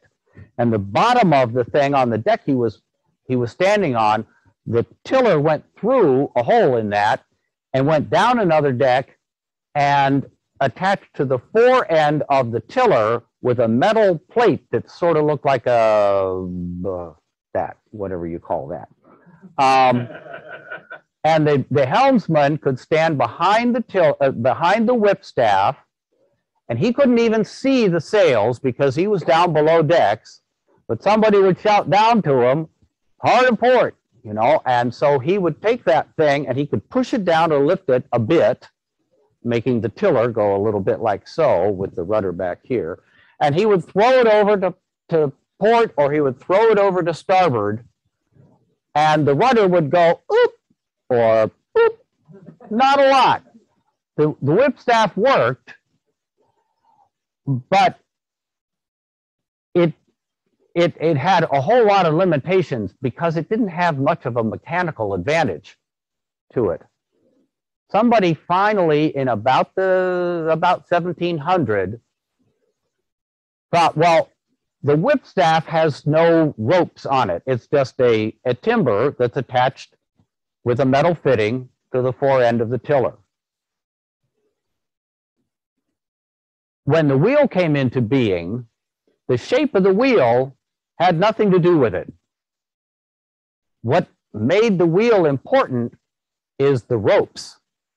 Because on a wheel, you've got a barrel, and you've got the wheel that's at a 90 degree angle to that, and around that barrel are the tiller ropes, and they go down through the deck and they attach to the fore end of the tiller. Only now, instead of pushing it over and uh, to one side or the other, by turning the wheel, you actually wind the rudder up uh, out toward the uh, the sides of the ship, and you could get a lot more out of that rudder. You could you could swing it through a much greater arc with a wheel than you could with the whip staff. And again, with the whip staff, the helmsman was normally down below decks and normally couldn't see the sails. But with a, uh, with a wheel, because it's attached to the uh, tiller by ropes, you could just make the ropes longer and move the whole wheel up a deck. Move it from the upper deck to the quarter deck. And who's prowling on the quarter deck? the captain. So it, it brought the, the, uh, the steering mechanism within range of the captain and vice versa. So it was a, it was a big improvement, but we do have a, a contemporary book from 1719 with a bunch of blank contracts in it, how to build a ship in 1719. And the blank contract, uh, um, I noticed one day that they called for both a wheel and a whip staff. Mm. And why was that? Because they didn't trust the wheel. That's, they knew the whipstaff worked. They weren't so sure about the wheel. And there is also a replica ship that plies these waters that is fitted with a whipstaff because it represents a really old ship from 1634. That's 1637. Isn't it 1634? The Kalmar Nyckel. Anybody know the Kalmar Nyckel? Oh, she's home ported just up in Baltimore and uh, she brought the first settlers to Delaware, if I remember, made several Atlantic crossings. It's, it's, so it's a small vessel, 1634, they're still pretty small, but you can steer that thing with a whip staff, which is really a trip. If you ever get a chance, the Kalmar Nyckel starts with a K, and she bought, she was Swedish. Yeah. So, um, so this one doesn't have a whip staff on it. It has a uh, it has a wheel. Oh no, it doesn't. It's got a whip staff on it, but it has a rudder that is center hung. I told you. How did they steer the earliest of these ships? Starboard, steerboard with the steerboard, which is off to one side. Somebody in northern thought, well, you know, maybe we could we could steer it by moving the rudder onto the center line and then maneuvering it, not with the guy on the, on the steerboard, but uh, with the whip staff, which is a lot safer for the helmsman. He's not going to get shot down there. Make sense? Yeah. Okay. Um, that's some of the decoration. This is a crackerjack model, by the way. I wish we owned it. I hope the guys who've loaned it to us will give it to us. I think they may, they may well. Um, when they fought, the sovereign of the seas essentially uh, opens the era to the sailing man of war, to in the classic uh, tradition, and they brought these ships together in combat, basically between 1650 and 1675. And during that period, the English and the Dutch fought three wars, not one, not two, but three. And they were so evenly matched that the English won the first Anglo Dutch War, the Dutch won the second Anglo Dutch War, and the third one was pretty much of a toss up. But each time the, the peace settled, New York became New Amsterdam, became New York, became New Amsterdam. If there'd have been a fourth war, we'd probably all be speaking Dutch today. Okay. So when they came into battle, the English and the Dutch, in the, the this period in the, the middle 17th century, the battle almost immediately devolved into a series of mini battles on the sea surface all over everywhere. And uh, this is called a melee, melee being a French word for fight. Um, as I say, all of these are, oops, all of these are individual battles that are going on. Now, let's say you are the fleet commander right there. You maneuver your fleet to get, you, get it where you want it, and then you blow the whistle and everybody goes to battle. Once they start shooting, what happens? They were shooting black powder. So the air filled up with smoke like nobody's business. They're loud as the devil. So after a couple of volleys, everybody's essentially deaf, or their heads are ringing. And the question becomes once the fighting started, how did the commander in chief continue to uh, control his fleet? He could, nobody could see, nobody could hear. So that's kind of a trick question. Once the battle started, the commander lost control of his fleet and it all devolved down onto individual ships' captains. Not only that, but in each one of these little mini battles around here, um, the idea was to find one enemy ship and to surround him with as many of your ships as possible and pound him from all angles. They would do this in theory so that one ship would come up alongside the enemy, loose a volley of cannon fire into it, and then sail out of the way and kind of do a figure eight and come back and do it again with several ships. But again, these guys are totally dependent on the wind and the currents and the whipstaff. And what you ended up with more often than not was something like that where a bunch of ships would surround an enemy ship and pound it from all angles. But in this case, look what part of the ships are firing into the enemy, which is a much bigger ship. But what part of the, the English ships in this case is pointed toward the enemy? The bow or the stern. They could, they could end up getting the stern in there. Is that what they wanted to do? No, it, isn't what they wanted to do, but these things are very hard to control. And very often, oh, that's why I did that. The weakest part of one of these ships is the bow. The, the second weakest part of it structurally is the stern, in large part because of the quarter galleries here, which are just a terrible drag on uh, the, the, the main hull. And so the, the weakest part structurally are the bow and the stern, and they were the most lightly armed part of the ship. By the time Sovereign of the Seas was built, people had figured out that instead of just putting cannons up on the top deck here, you could actually punch a hole in the ship's side and put a cannon there. How do you think that idea went over initially? You're going to do what? Uh, but eventually they figured out how to do it. And so 90 some odd percent of the firepower of all of these sailing men of war arraigned on the broadsides. And by the way, I'll just mention this now because I'm thinking of it. This ship took about 800 men, uh, uh, had a crew of about 800 men. But they could have sailed this guy with 200 men, with one fourth of that crew. So why did they carry so many people? Man, the cannon. To command the guns, exactly. Mids are on, I don't know.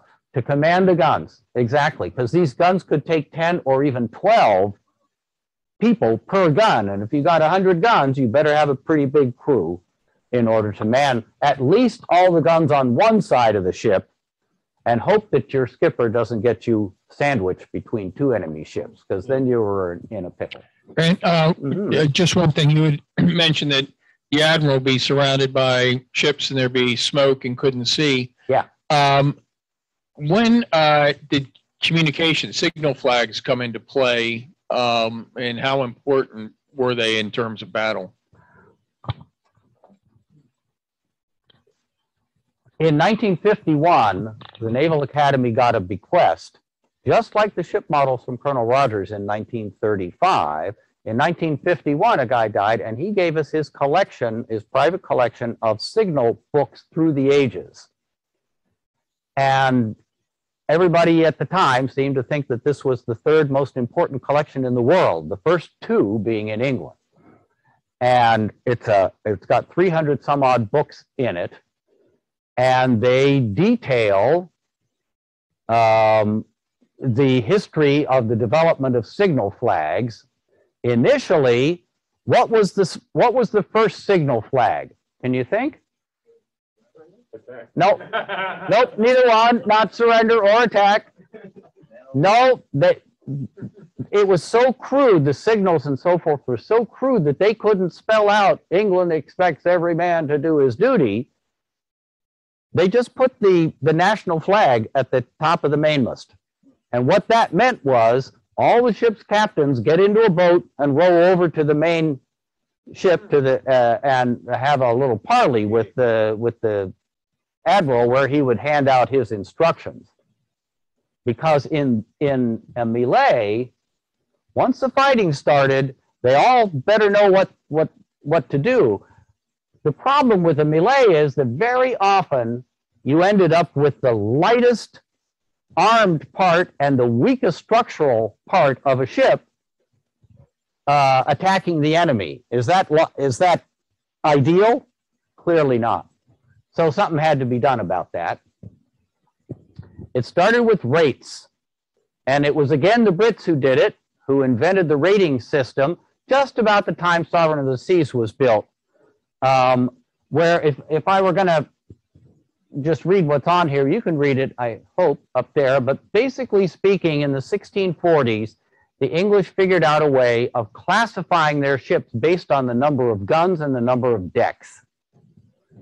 And they developed it in the 1640s, and they were still using it in 1804 and, and well into the 19th century. Here you can see a print of a view of the Royal Navy of Great Britain in the year 1804. So that's what the Navy looked like in 1804. And it had 600, oh, I can't quite read it. 726, I'm sorry, 726 ships. And you can get it all onto one piece of paper. And that's because they had developed this classification system of first rates, second rates, third rates, fourth rates, fifth, and sixth rates. And if you look closer at these, the, the pictures of the ships are sort of anatomically correct in that they've got the right number of gun decks on them. And um, they've all got three vertical masts. I, I kind of skipped this. When I got to the Sovereign of the Seas, I asked my midshipmen generally, is that a ship? And they all look at me like, that's a trick question. Um, it is a ship, but you know, in the age of sail, well, well, today, let's say we look out on the horizon. Maybe you guys don't because you're sailors now, but uh, most people would look out on the horizon and say, well, there's a ship out there. But in the age of sail, they didn't have a blanket term for everything that floated called a ship. In order for a vessel to be a ship, it had to have, it had to meet certain criteria. It had to have three vertical masts. It could have four, but I say the fourth one went away. But if it had only two masts, they'd never call it a ship. If it had only one mast, they'd never call that a ship. Had to have three vertical masts. It had to have square sails on the foremast and mainmast, and it had to have a lateen sail on the mizzen mast. If it didn't have those things, they didn't call it a ship. They'd call it a brig, a brigantine, a yacht, a schooner, a sloop, what have you. But no, but in order for it to be a ship, it had to meet those those criteria. And all of these six rates, the ships in those six rates were all ships. And because they were all ships, they were all commanded by a captain. When you got promoted to captain of the Royal Navy in the age of sail, you didn't get a desk job. You got a ship. And um, they have uh, first, second, third, fourth, fifth, and sixth rates. You can see that if you could see this closer, the first rates have three gun decks, just like Sovereign of the Seas. This is 1804. They're still building them like Sovereign of the Seas. Three gun decks. And each one of these images here has a little code, like 4264G, 4100G, or 3, well, you can't read that, 36G. What does that mean? Well, the G means guns. The second number uh, says how many guns that ship carried, and the first number says how many of that kind of ship were in the Royal Navy in 1804. So you can see, given that, that first and second rates were three deckers, two deckers were either third or fourth rates, and single deckers were fifth and sixth rates.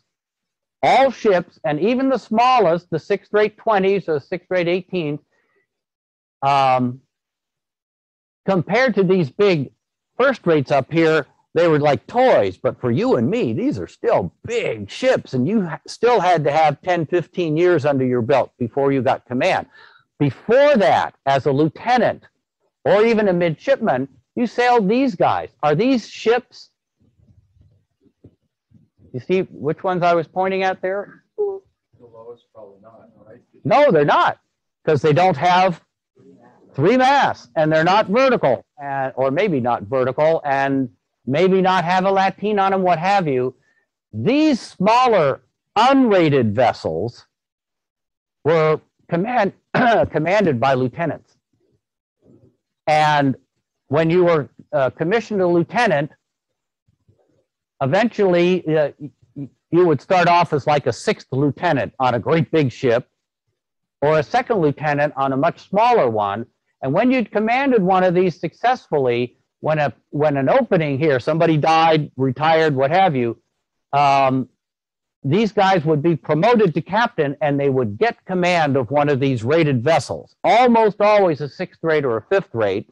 And then as time went on, if you proved yourself and people kept dying, they would keep moving until they were commanding the big first rate. So today we refer to something that's of low quality as in its third rate. Um, Yeah, Does that, do those uh, adages or aphorisms, do they come from the, the ship rating system? not to my knowledge. Uh, you could be on a second rate ship and it's still a magnificent ship.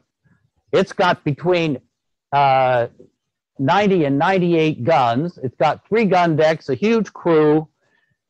The only thing is, it's not as quite as big as a first rate, and it's not as luxurious because these things had to be outfitted to, to uh, uh, deal with an admiral and all his retinue and so forth, and they just made them plusher in the first rates than the second. But it doesn't mean they're not as good. They're just not quite as big and not quite as powerful. That's a good question, though. Um, so we've got the entire uh, Royal Navy in this one uh, image here. And you also have all of the, the ranks of different people who commanded these. There's captains and admirals, but there's also a rank in there called a master and commander. You know the movie Master and Commander? Have you seen it? That's a rank. It was like you are lieutenant such and such, you're captain such and such, and you're master and commander such and such. Eventually, they broke that into the master and the commander. But at, at this time, just like the Aubrey Maturin, uh, I'm sorry? Post, Uh, post commander means a captain. Yeah, yeah. Um, and they also had the rank of commodore, but that's a that's a temporary command of a group of ships. Uh, and when the mission was over, he re- was reduced back down to captain again. So is that also why we don't have Commodore and the? I have no idea why they changed the kind of cool name Commodore to Rear Admiral Second Half. Lower half. What, uh, lower half. I mean, it sounds blah.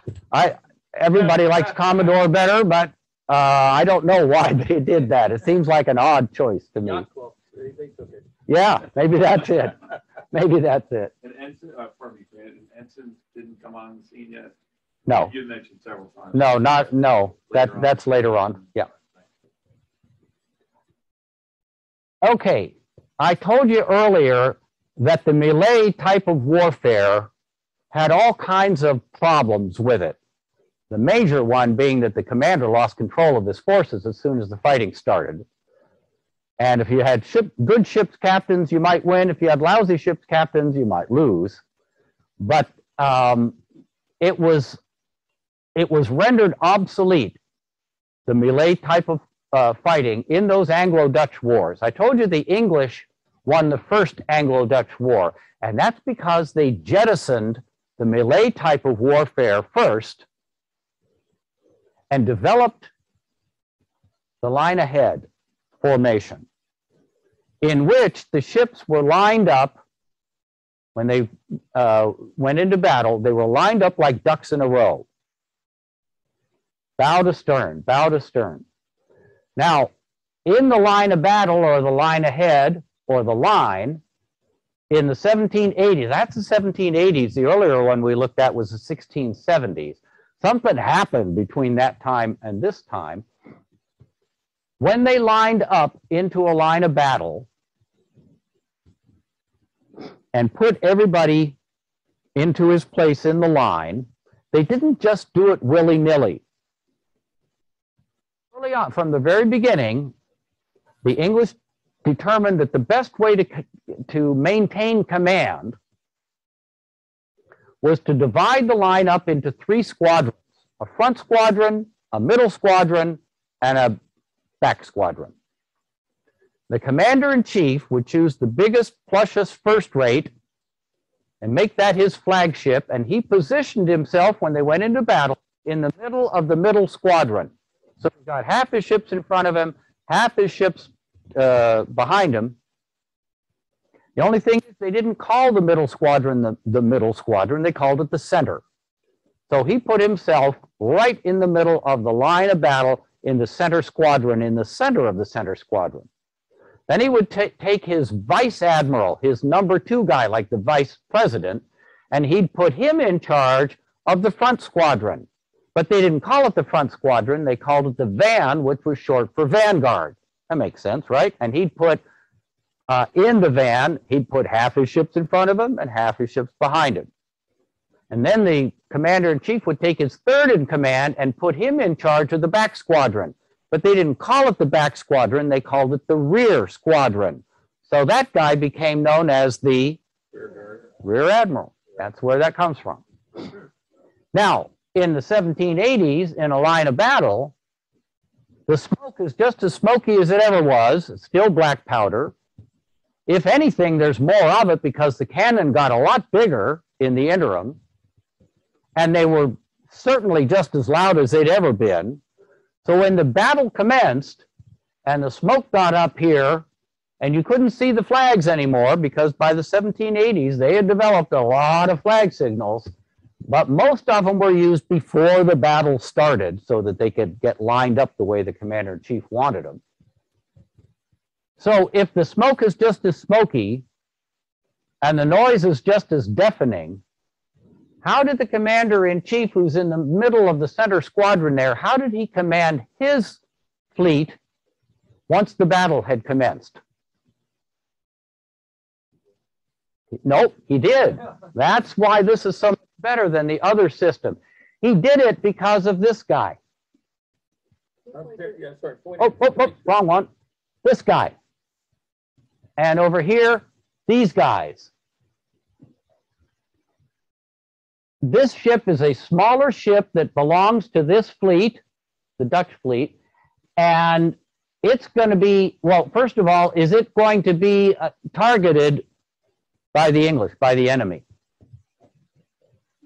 No, it's not, because it's hiding behind the- its own line. So these guys couldn't shoot this guy, but what he could do, he could uh, come uh, uh, uh, alongside the commander in chief, get his orders, and then he could sail up to the van and relay those orders, sail back to the to the rear, give those orders, and so forth. And if somebody became disabled in the line, he could pull them out of the line of battle, and everybody else would just scooch up. So once the battle commenced in the line of battle era, the commander in chief did not lose command of his fleet. Yes, ma'am. But didn't you say they were hard to steer, these boats? They were. One of the problems in the melee is that just when a ship was ready to uh, fire upon the enemy, one of his own guys would drift into the way. Happened more often than it didn't happen. Is that going to happen here? Not if you stick it to your place in the line of battle. It won't happen. You won't get one of these guys drifting into the middle here if he can manage it. Did once the battle started and he lost all his lines and his sails fell down and the mast went over, he might drift in there, but then he's in a pickle. The idea was stay in your assigned place and do what the admiral was telling you, relayed by this smaller ship out here. These ships, by the way, Keep on, point on, the, Oh. These ships, by the way, got a name, ship of the line. And the ships of the line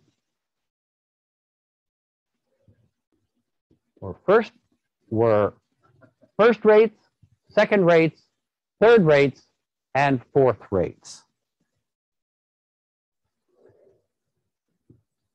If you ranged up with one of these fourth rates, which had, let's say, 50 guns on it, and you ranged up against a first rate in the enemy line with 100 guns on it, who's going to win?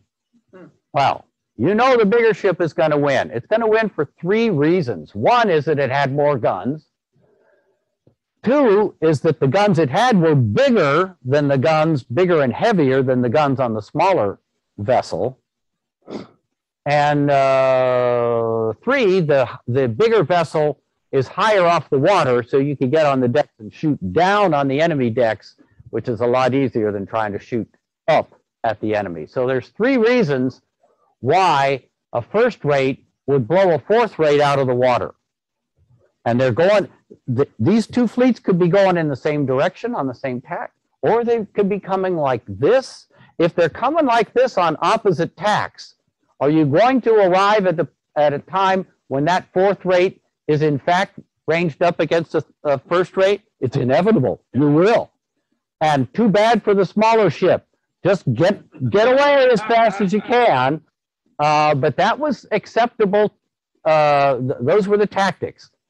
Ships of the line, first, second, third, and fourth rates.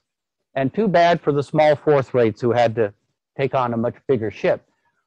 But if the two decker fourth rates were in danger of getting blown out of the water by a bigger enemy ship, what about the fifth and sixth rates?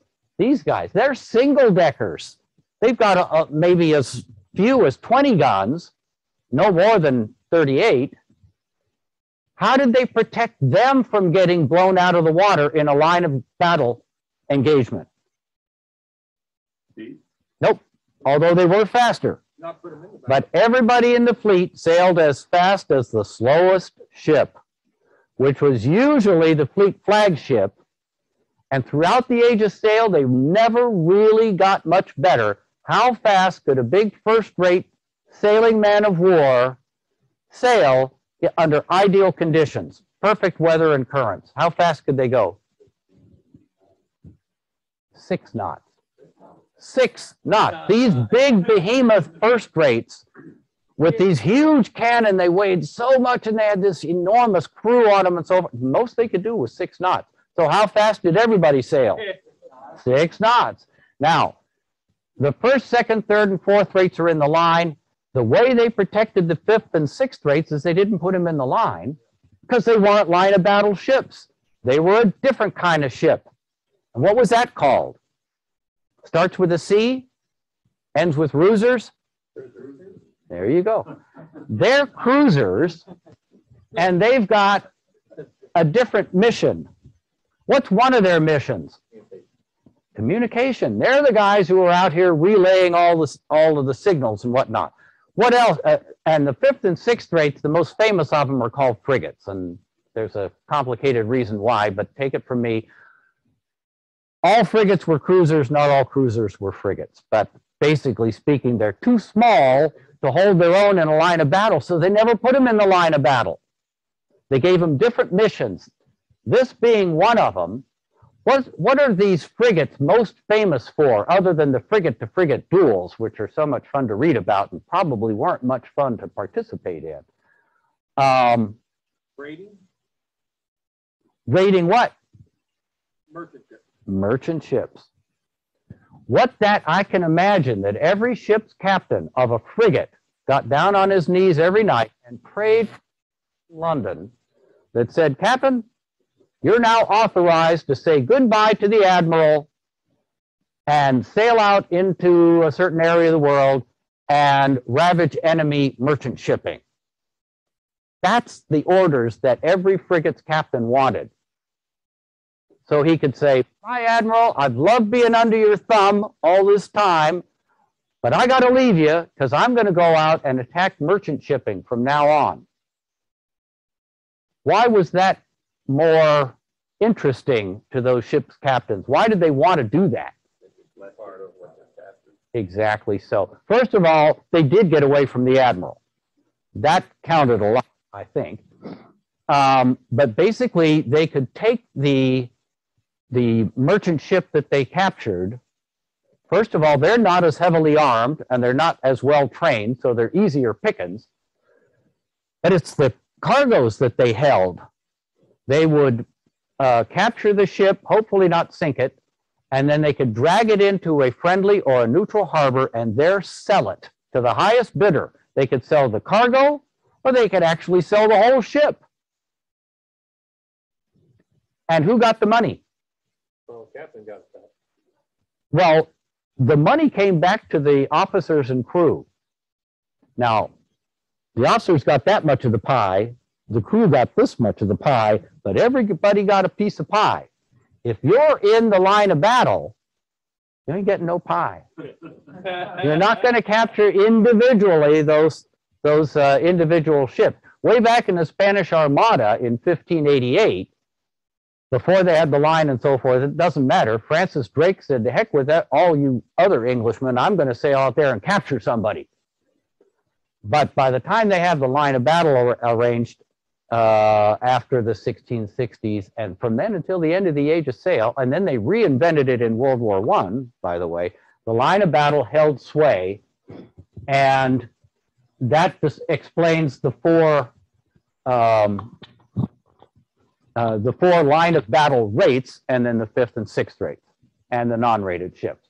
As far as the crew is concerned, I showed you they had 726, I think it was, uh, vessels in the Royal Navy in 1804. By 1812, they had over a thousand. And they tried and tried and tried to entice people to join the Navy with bounties. You join the Navy, we'll give you X number of pounds or what have you. But no matter what they did, they could never get enough sailors to man a thousand ships on a volunteer basis. So what did they do if they needed more sailors? Where's the barge? You can see right there. What's that called? Impressment. That's called impressment. It's actually just a fancy word for shanghaiing. Let's say a captain had a an authorized crew of 240 men, but he only had 220. So he can pull into a port, friendly port, an English port, get his lieutenant to the side and say, Lieutenant, find me the six biggest thugs in the crew, give them a club, take them into town. I need 20 more men. You get them however you're going to get them. So what did they do? They went to the bars and they clumped everybody over the head. And when they woke up three miles out to sea, they were told, guess what, son? You're now in the Royal Navy and you're going to stay in the Royal Navy until we tell you you can leave. So were these happy crews? It got worse and worse as we approached the Napoleonic era, and it got the worst during the Napoleonic era. So these guys were um, reluctant. Englishmen were reluctant to sail in the Royal Navy. If they had the choice, would they rather get into a ship of the line or a cruiser? Cruiser. It was a lot easier to entice people to join uh, a cruiser's crew than it was for these ships of the line, because at least you could get rich. That is, if you didn't die in the effort. What this says, the estimated fatal casualties in the Royal Navy 1793 to 1815. That's the 22 years of the Napoleonic Wars. And you can see here that of a of 103,600 Royal Navy sailors who died during that 22 year period, how many of them died from enemy action? 6%. Well, what happened to the other 94%? They just died. There were so many ways to die on these ships that it was worth your life to get out of harbor on a clear day because you could fall off the yardarm. Somebody could, I, I mean, there's just a gazillion ways of dying on these things. And I remember your reaction when you saw this the first time. You went, oh my God, look at that. Only 6,000 of them. That's for sure. Yeah. So did, were people anxious to sail on these things? No, they were not. Um, I, I've, I love that, that uh, table right there because it shows you that this was a very dangerous business. And uh, the officers who took over, they went to sea when they were 13 and 14 years old. A, to learn how to sail a ship, but B, to learn how to manage an unhappy crew. I'll show you how they did it. That shows you that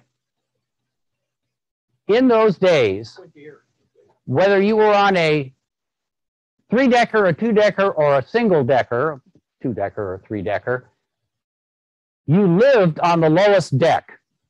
The lowest deck was called the gun deck.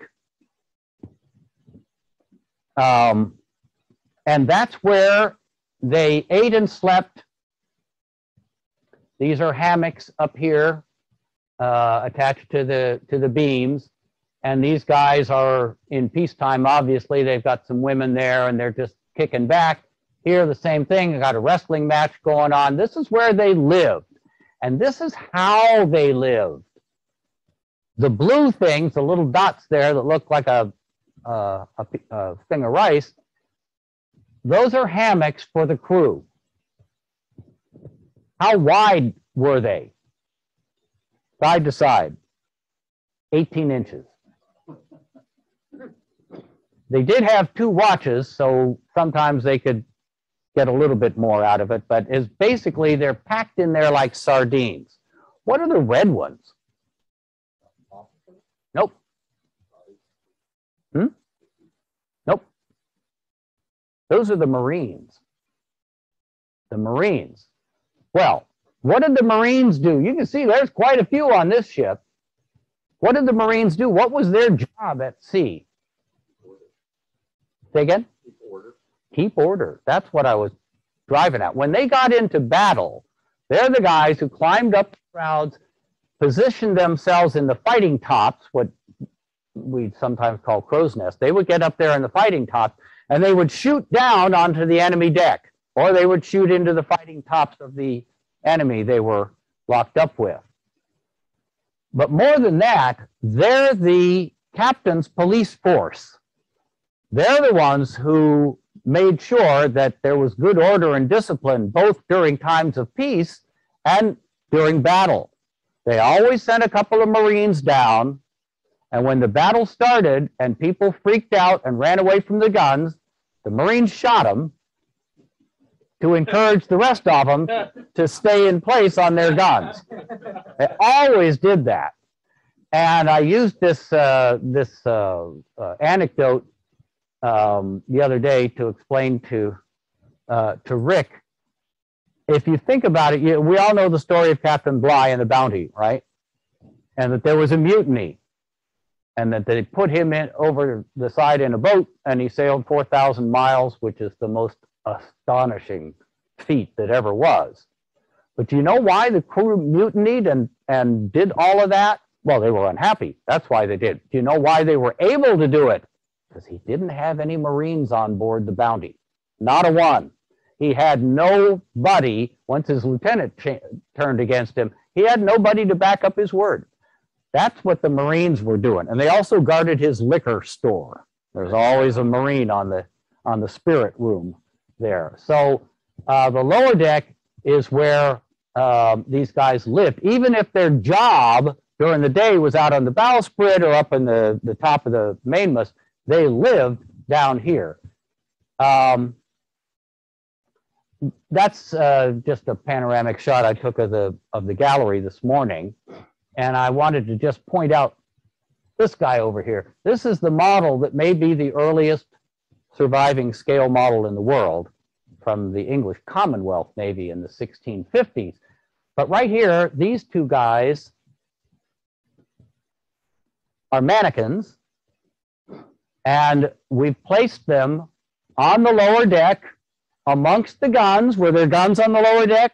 They lived amongst the guns. We couldn't put a hammock up here because we didn't have enough room, but they would have slept from beam to beam. And here they're eating. I don't know if you can see this or not, but that plate is square, which gave rise to what? Square meal, that's right. And they're also imbibing in what looks like beer, does it not?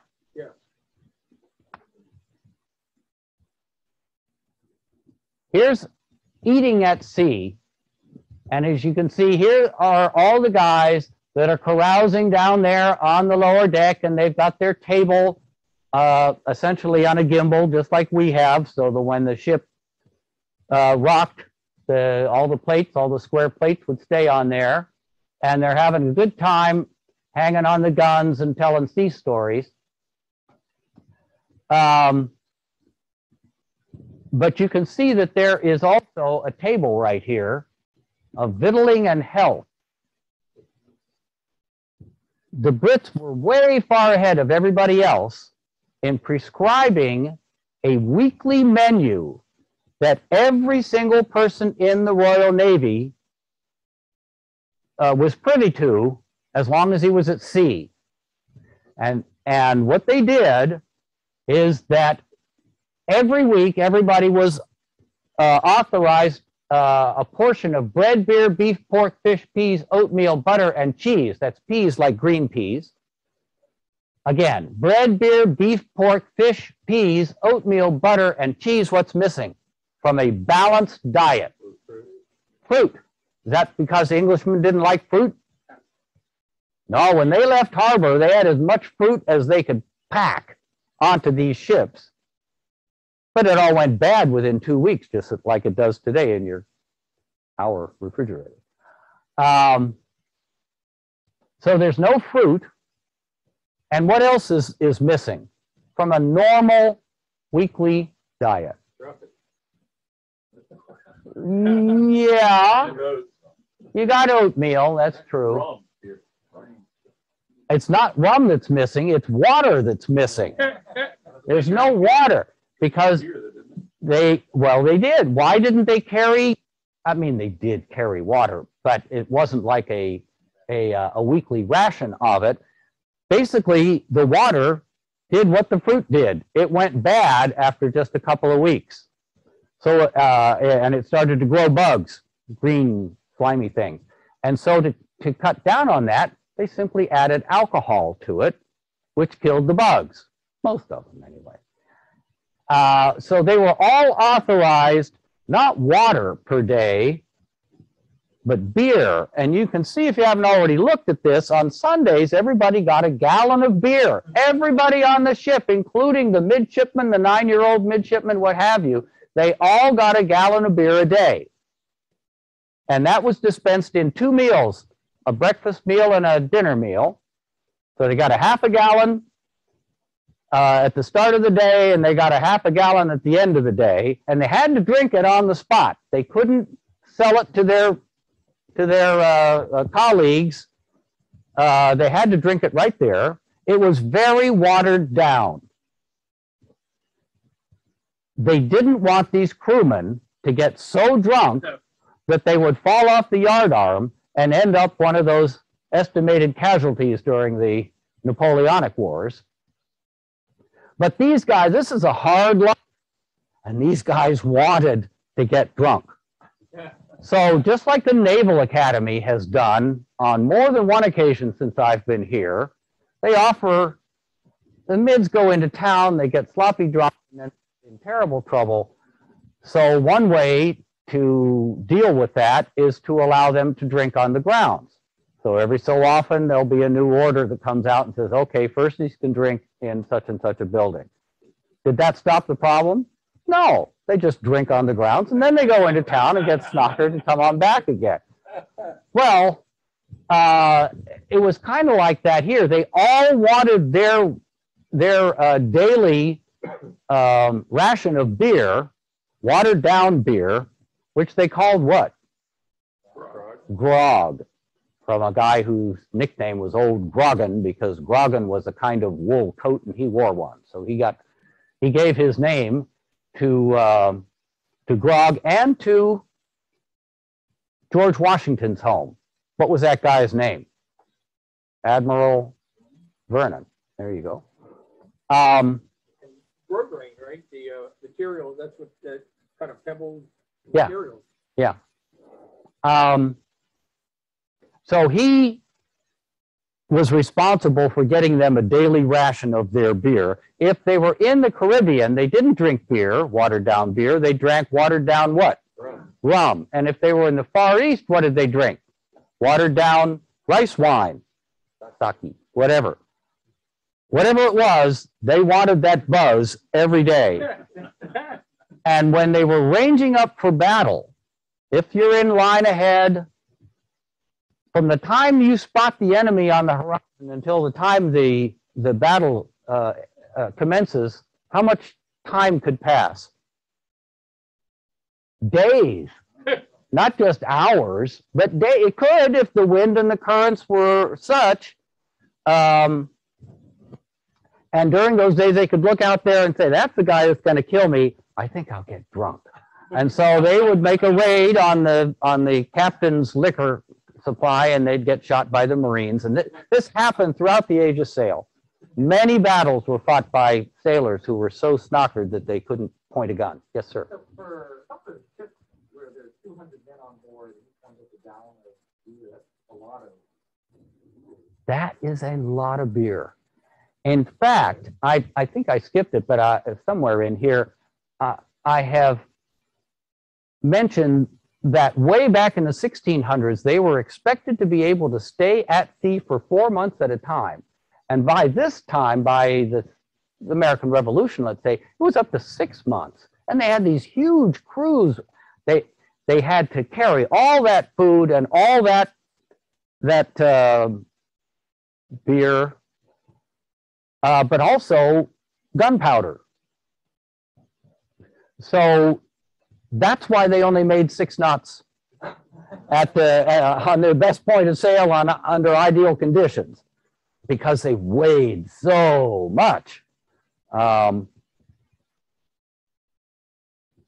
after they had imbibed, had their breakfast, had their dinner, had their gallon of beer, sooner or later they had to go to the bathroom. How did you go to the bathroom in the age of sail? Well, you showed us how they go to the bathroom on, on uh, yachts and whatnot today. In those days, they would go to the head of the ship, and they did, in fact, call it the head of the ship, but they didn't call going to the bathroom going to the head. And they didn't call toilets heads. The part of the ship was called the head, but the toilets they called seats of ease. Not because they were easy to use, but because going to the bathroom was called easing oneself in polite company. So in this example, all our models have these, by the way. They all put the sanitary uh, business on the ship. Here, this ship has four seats of ease on the beakhead. One in the corner, two, three standalones, and a fourth one in the corner over here that you can't see from that angle. Trouble is, the ship that that model represents had a crew of 360 men. You got four toilets. You got 360 men. Come on, I gotta go. So I can only envision two scenarios. One, it looks like the opera house at intermission with long lines in front of the bathroom, right? Waiting and waiting and waiting. Did that happen? No, that didn't happen. The other one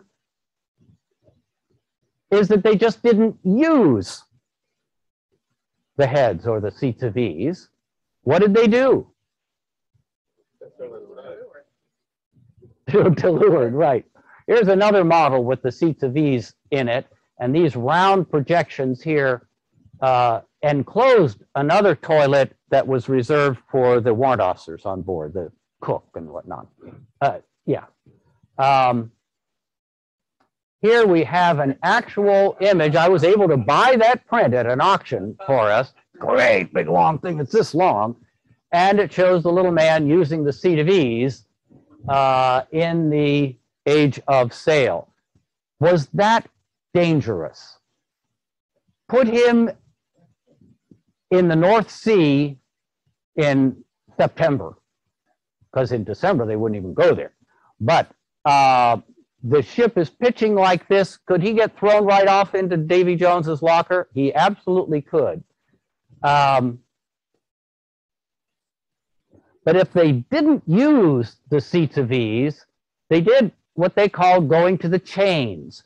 The chains was a shortened version of um, the word for this fitting right here, not really a fitting, but part of the ship called the channel. So chains is just short for channels.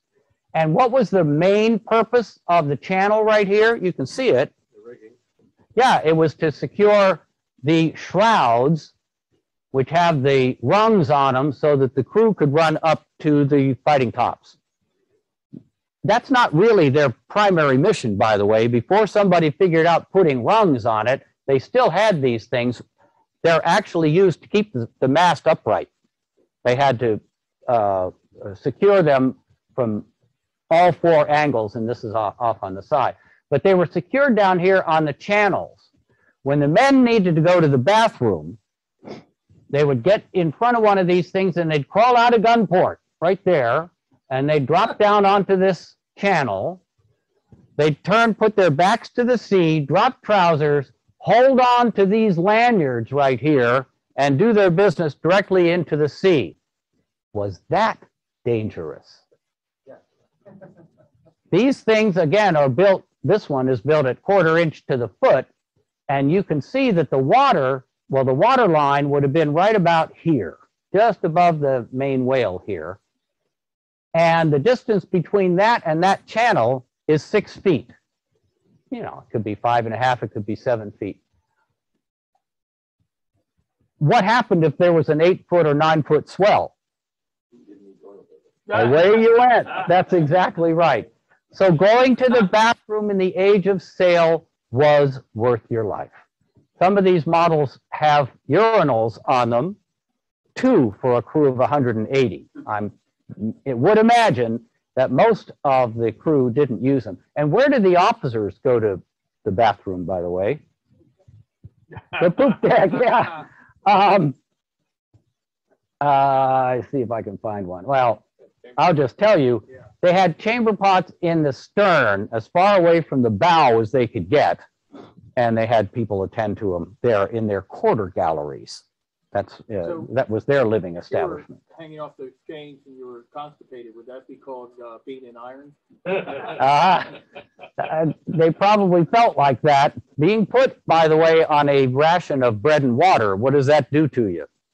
Plugs you right up, makes you miserable. Uh, Grant, I think you're, you're you're at this point, but kind of bringing together the crews, the line of battle, the tactics Yeah. and things. You want to, uh, get on to the, uh, the Battle of the Capes then? There it is. Next slide. Okay, that's not the Battle of the Capes, but that is a book on tactics.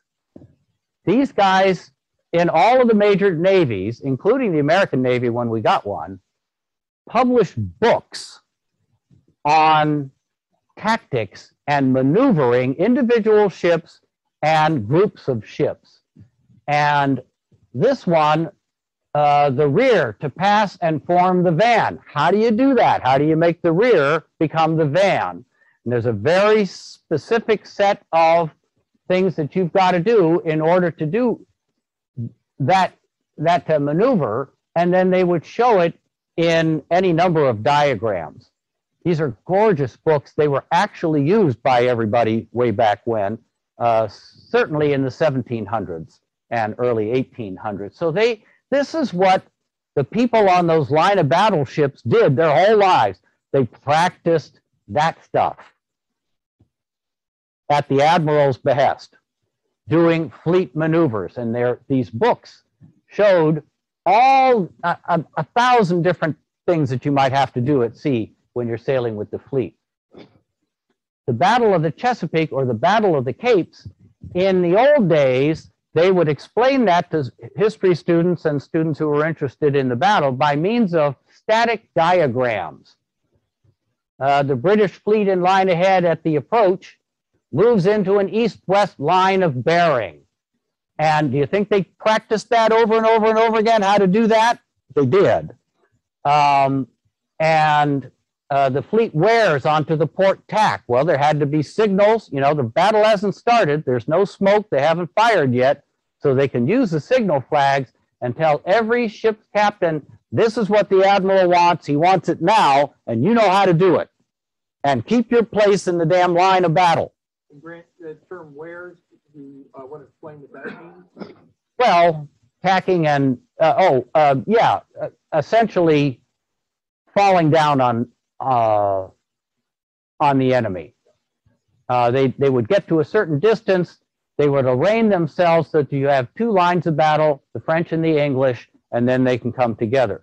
These, that's later on in the battle, you get another diagram.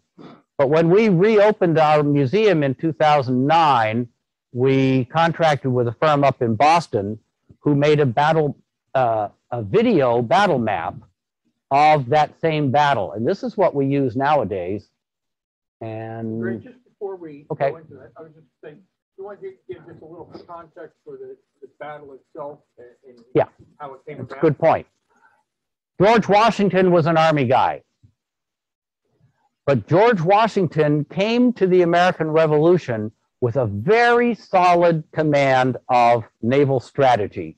He knew what he wanted to do with the British and how to win this damn war. And he actually almost pulled it off in Boston. But what he wanted to do, Washington from the start wanted to pin a British army with its back to the sea. Then he would build siege lines around it, fill those full of cannon, and besiege the, uh, the uh, trapped English army. But every time he set that up, what happened? They escaped. How did they escape? Ships. the Royal Navy came to the rescue and pulled that army away from danger. They all boarded the Royal Navy ships and sailed away, and Washington sitting there, damn, you know. In 1778, because of a lot of uh, moderate American victories, the French entered in on our side. Was it hard to convince the French to fight the English? No.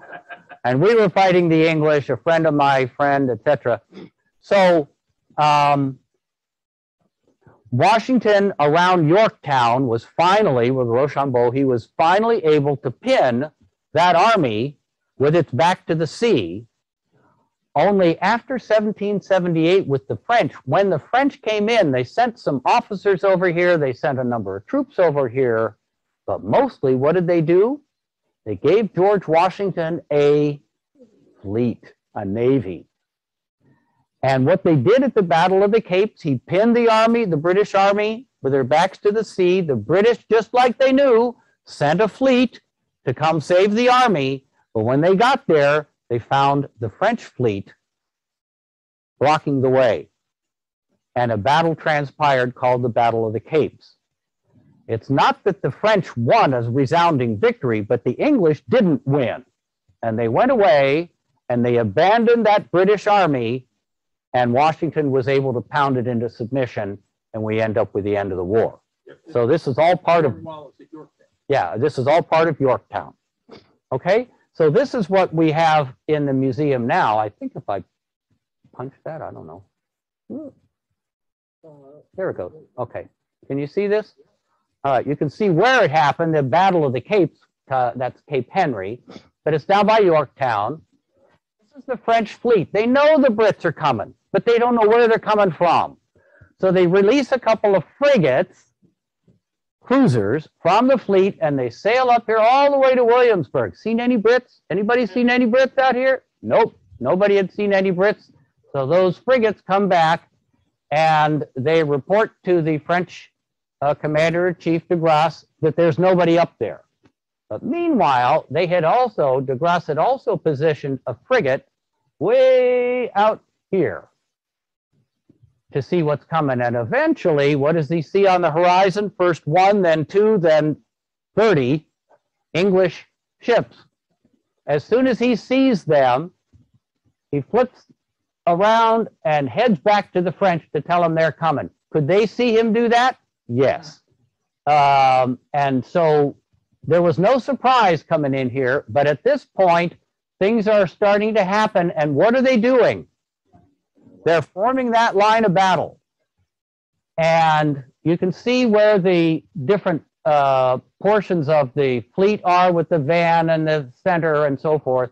And then they make this maneuver here where they drop down and look at all these ships out here and this one right here. Now you've got two lines of battle sailing essentially in the same direction, but they're getting closer and closer together at the van. And at a given moment, they get to firing range and they proceed to fire away. Meanwhile, these guys are relaying messages up and down the, the British line. He's uh, relaying messages up and down the French line. And um, as was very typical in those days, they didn't sink anybody. These ships were very hard to sink. You could pound them into, into smithereens and they would still float unless somebody got to the powder magazine. And then that's how they were oftentimes sunk. But they continue down the bay.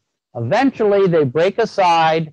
The British thought about re-engaging it, doing it again. The French keep them from doing that. And then eventually the British just give up. He sails back to the Cape, to the Capes, and this guy, he, he wanted to go back and do it again, but everything was wrong at that point, and he'd suffered. These ships didn't get sunk, but they were really battered to death, and their crews were uh, really pounded. So he went back to the bay, and the British ended up going up to New York, abandoning Cornwallis which led to the end of the war. So this is how,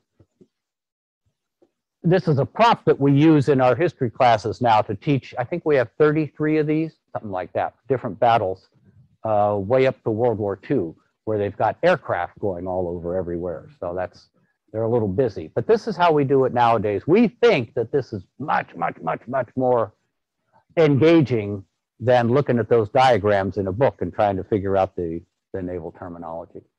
Okay, so that's, that was the end of my pitch at this point. Do I have uh, questions? Yes, sir. uh, um, on the, uh, boatyard models that are really rare. If one came up on the market, what would they probably sell for? what do dockyard models bring when they're when they come up on auction? And there is an auction uh, every couple of years where one of these will show up. Most of them are in museums now. There are very few in private hands. When they do come up, several hundred thousand dollars would be easy. Uh, I was involved in one that sold at Christie's, New York, for a million and a quarter. So, and we have many models that would bring that kind of money if if they ever came up for sale. market, Paul? I just told myself. And that, that was full scale, it wasn't a quarter scale. Scale boat. I got a phone call a number of years ago from a guy who asked us if we had any photographs of a ship model that represented the St. George of 1701. And she was a second rate, a three decker, 96 gun uh, second rate from 1701. And he introduced himself as being uh, uh, something from Odyssey Undersea Exploration. So I said, treasure hunters, huh? I said, "Hmm, you could call it that. I said, did you find something that had to do with the St. George? And I finally got him to say, no, I know she's a three decker and what we found is a two decker, but she's 1701 and what we found uh, in the way of a wreck was 1693. So that's pretty close. And I said, really, you got a two decker? Hmm. Why do you want pictures of a three decker from 1701 when we have a model of a two decker from 1693? And he said, You do? I said, Yeah. And he said, What ship is that? He said, The Sussex. I said, The Sussex. And I hear this on the other hand, I'll get back to you. And five minutes later, another guy called me up. He said, You have a model of the Sussex? I said, Yeah. Did you find this, the wreck of the Sussex? He said, "Mm, Maybe. And it turned out that they did find it. And they had spent seven years and $12 million searching for it. And the, the Sussex actually went down in the Straits of Gibraltar just one year after she was launched. So in 1694, she took a crew of 550 to a watery grave um, and was promptly forgotten by everybody. But not everybody, because in 2005 or something, some scholar uh, uncovered some records in the Spanish archives in Seville that referred to the wreck of the Sussex as carrying a huge treasure. And indeed, she did. And basically, there's a little uh, place called uh, the Duchy. Uh, oh, I can't think. Ah, it'll come to me. A little part of France, Savoy, Savoy. And the guy in charge, the Duke of Savoy, sent a letter to Charles II in England and said, I'm on your side, notably, but the French are willing to pay me a whole lot more than you're paying me. And if you don't match that offer, I'm going over to the French. Charles II says, Oh my God, I can't lose that ally. But that was, he wanted a lot of money, the Duke did. So they basically took half of England's national uh, income, their gross national product, and they put it on board the Sussex and then sent her down clandestinely to the Straits of Gibraltar. She made it, but when going through the straits to deliver the gold to the Duke of Savoy, she got caught in a storm and went down. And then a couple of hundred years later, these guys from Odyssey found it. But when they went to work the site, they, they came out into the, into the, the, the roads of uh, the harbor there and found 5,000 Spanish fishing boats all saying Yankee go home. And that's what happened. And that wreck is still on the bottom of the Straits of Gibraltar. She's 3,000 feet down, so you're not going to dive on her. But she probably, well, what she had, the, the, the phrase that attracted everybody's attention was she was carrying a million in specie. That's a million pounds in gold and silver bricks and coins. And in today's world, that would bring a pretty penny. But nobody can touch it because the Spanish won't let them ply those waters. You know, there's all these international politics going on. But I, the reason I brought that up is because the guy in charge of Odyssey came up to the Naval Academy. I showed him the model and he said, okay, how much? And I said, it's not for sale. We can't sell anything. He said, a million, million dollars? I said, we can't sell this model. Forget about it. Okay, two million. We still have the model and the ship is still on the bottom. So that's the answer to your question. They would bring, uh, that model of the Sussex would bring a million bucks easy. Because it's perfect. It's perfect. It's pristine. And, uh, oh, the, yeah, the ship lasted one year. Uh, the model's made it since, since, uh, 1693. Okay, other questions? I have one quick question. Uh-huh. I may have missed it. So the mod, the, uh, dockyard model. Dockyard models, right? You said they're hollow, right? Yeah, And they're built to scale everything, even inside. yes. Can you actually see those layers or is it? Sometimes you can see them, but we went over to England uh, many years ago and found that the Brits had devised a fiber optic uh, instrument. Um, they make two different kinds in the biggest kind of the world. They make medical ones and they make industrial ones. And what they used was ones that people were using to poke inside jet engines. And basically, it's a camera on the end of a long tube um, that looks about like a pencil, I guess, and you put it inside whatever you're looking at, and it will flash it up on the video screen. That camera will. So we came back here real lickety split, got our own medical equipment, still has blood on it. and we don't poke into stomachs, we poke into these models. We've probed them many times because it never gets old. There are things down there that you cannot see, including little miniature uh, fire hearths and stoves, um, uh, all kinds of uh, line uh, capstans and that sort of thing, chicken coops, um, sometimes a name. That's what we really are all after are the are names that some that the actual model builder stuck inside his model when nobody was looking. And we have in fact found a couple of those. now. They were done as a gift to, you know, to- and the guy couldn't, he didn't have a fiber optic, so why did they go to that trouble? Well, they're pretty pretty. Oh wow, we don't know why they went to that much trouble. I can only imagine it was pride of craftsmanship. Yeah. That's all I can think of. Um, but it's astonishing. And as I say, the first time we did it in every model, we were looking at things that no human eyeball had seen for several hundred years. And they're just, they're gorgeous. There are ones in England that we don't have that have paintings in the captain's cabin on his walls and so forth. Yeah. Yes, ma'am. Um, I've heard about Mallow Bay as a ship, ghost shipyard, do? Is that the one near, near here? Yes. uh-huh. Yeah, that's got Joshua Barney's fleet in it from the American Revolution. Um, he, he fought a battle which he lost, but again, uh, against the Brits, but again, he held them up uh, beautifully in the American Revolution. So I understand that as late as 1968, you could see those things from the surface without any trouble. I've had people who were born and raised here tell me that until 1968, you could walk into the into the, the water at Solomon's Island and it was clear as a bell.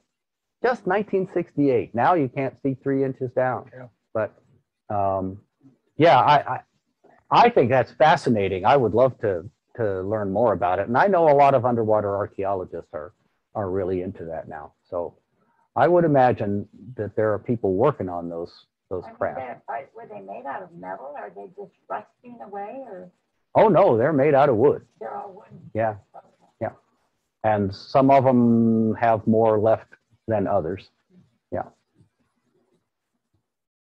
yeah, but we don't, you probably wouldn't realize it, but underwater archaeology has leapt forward ever since Robert Ballard got into the business.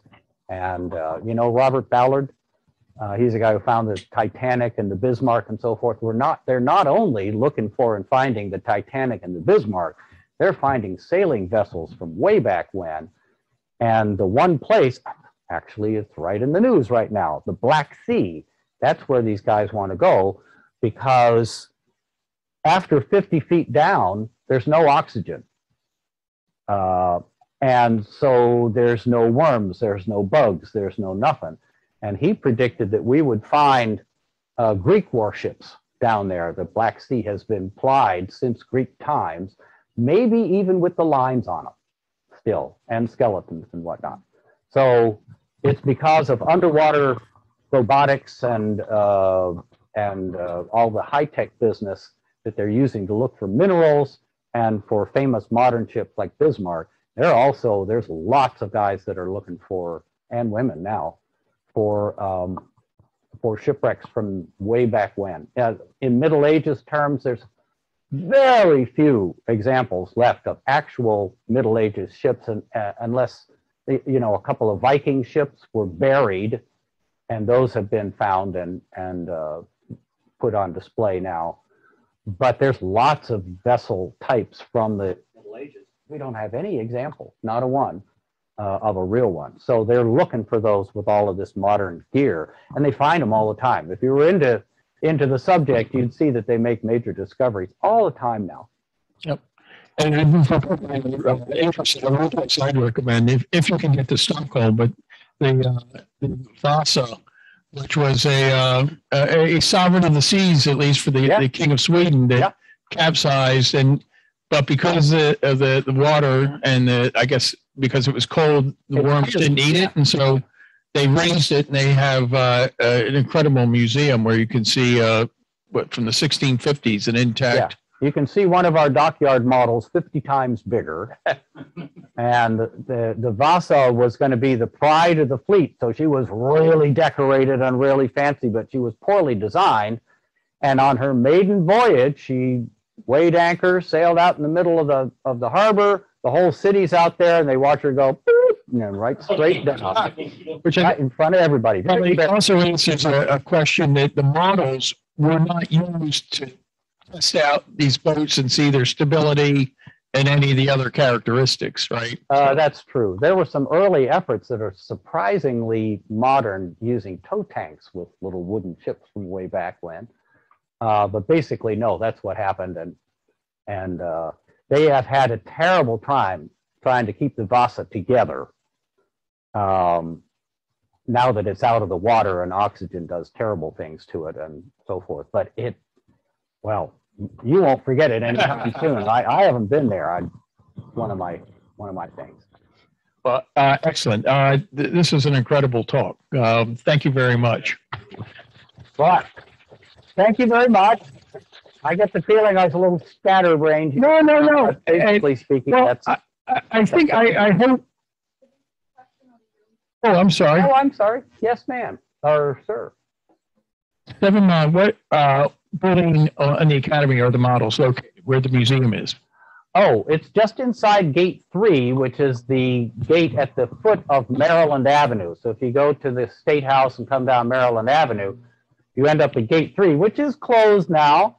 But just inside that, uh, I mean, you used to be able to drive on right there, and now you can't. But um, uh, we're just inside that, al- almost the first building. We're right across from the chapel. We're in the center of the um, uh, the grounds there. Very very pricey territory in Naval Academy circles. We're ever having to fend off somebody who wants to take our museum and turn it into a physics lab or something. Uh, it's- in terms of the museum, it's really, it's the history of the US Navy. So it, it's great in terms of how it takes you chronologically through the development of the Navy. We focus obviously on the, the age of fighting sail, but up through World War One, the dreadnoughts, you know, to World War Two, to, so it's, uh, and I think you can kind of do it in two hours. I mean, you could spend the whole day there, but it, it, it moves quickly. Yeah. Uh, and so, You can come on anytime. Um, and we would love to have each and every one of you do it. If you do come to the museum, ask for me and I'll give you the cook's tour. yeah. Be happy to do that. Uh, yeah, it's it's tremendous. And I, so I would say, uh, I mean, uh, Grant and I would kind of, uh, he, he at least um, fill out this idea I had of uh, while floating on the water. What was it like back then? What were the similarities and differences? And I, you can see how obviously modern boat design and communication are much different, but um, you also see things like racing tactics, how they in some ways were derived by uh, an age where uh, knowing all the factors in terms of the, the water uh, conditions, your competition made a difference in life and death. And and still we're either then or now we're, we're governed by the, the wind and the, the And the direction. that's right. And uh, so, uh, anyway, we'll, we'll, we'll, we'll continue to explore this topic, but we uh, very much appreciate you uh, being here today to hear it. Thank you.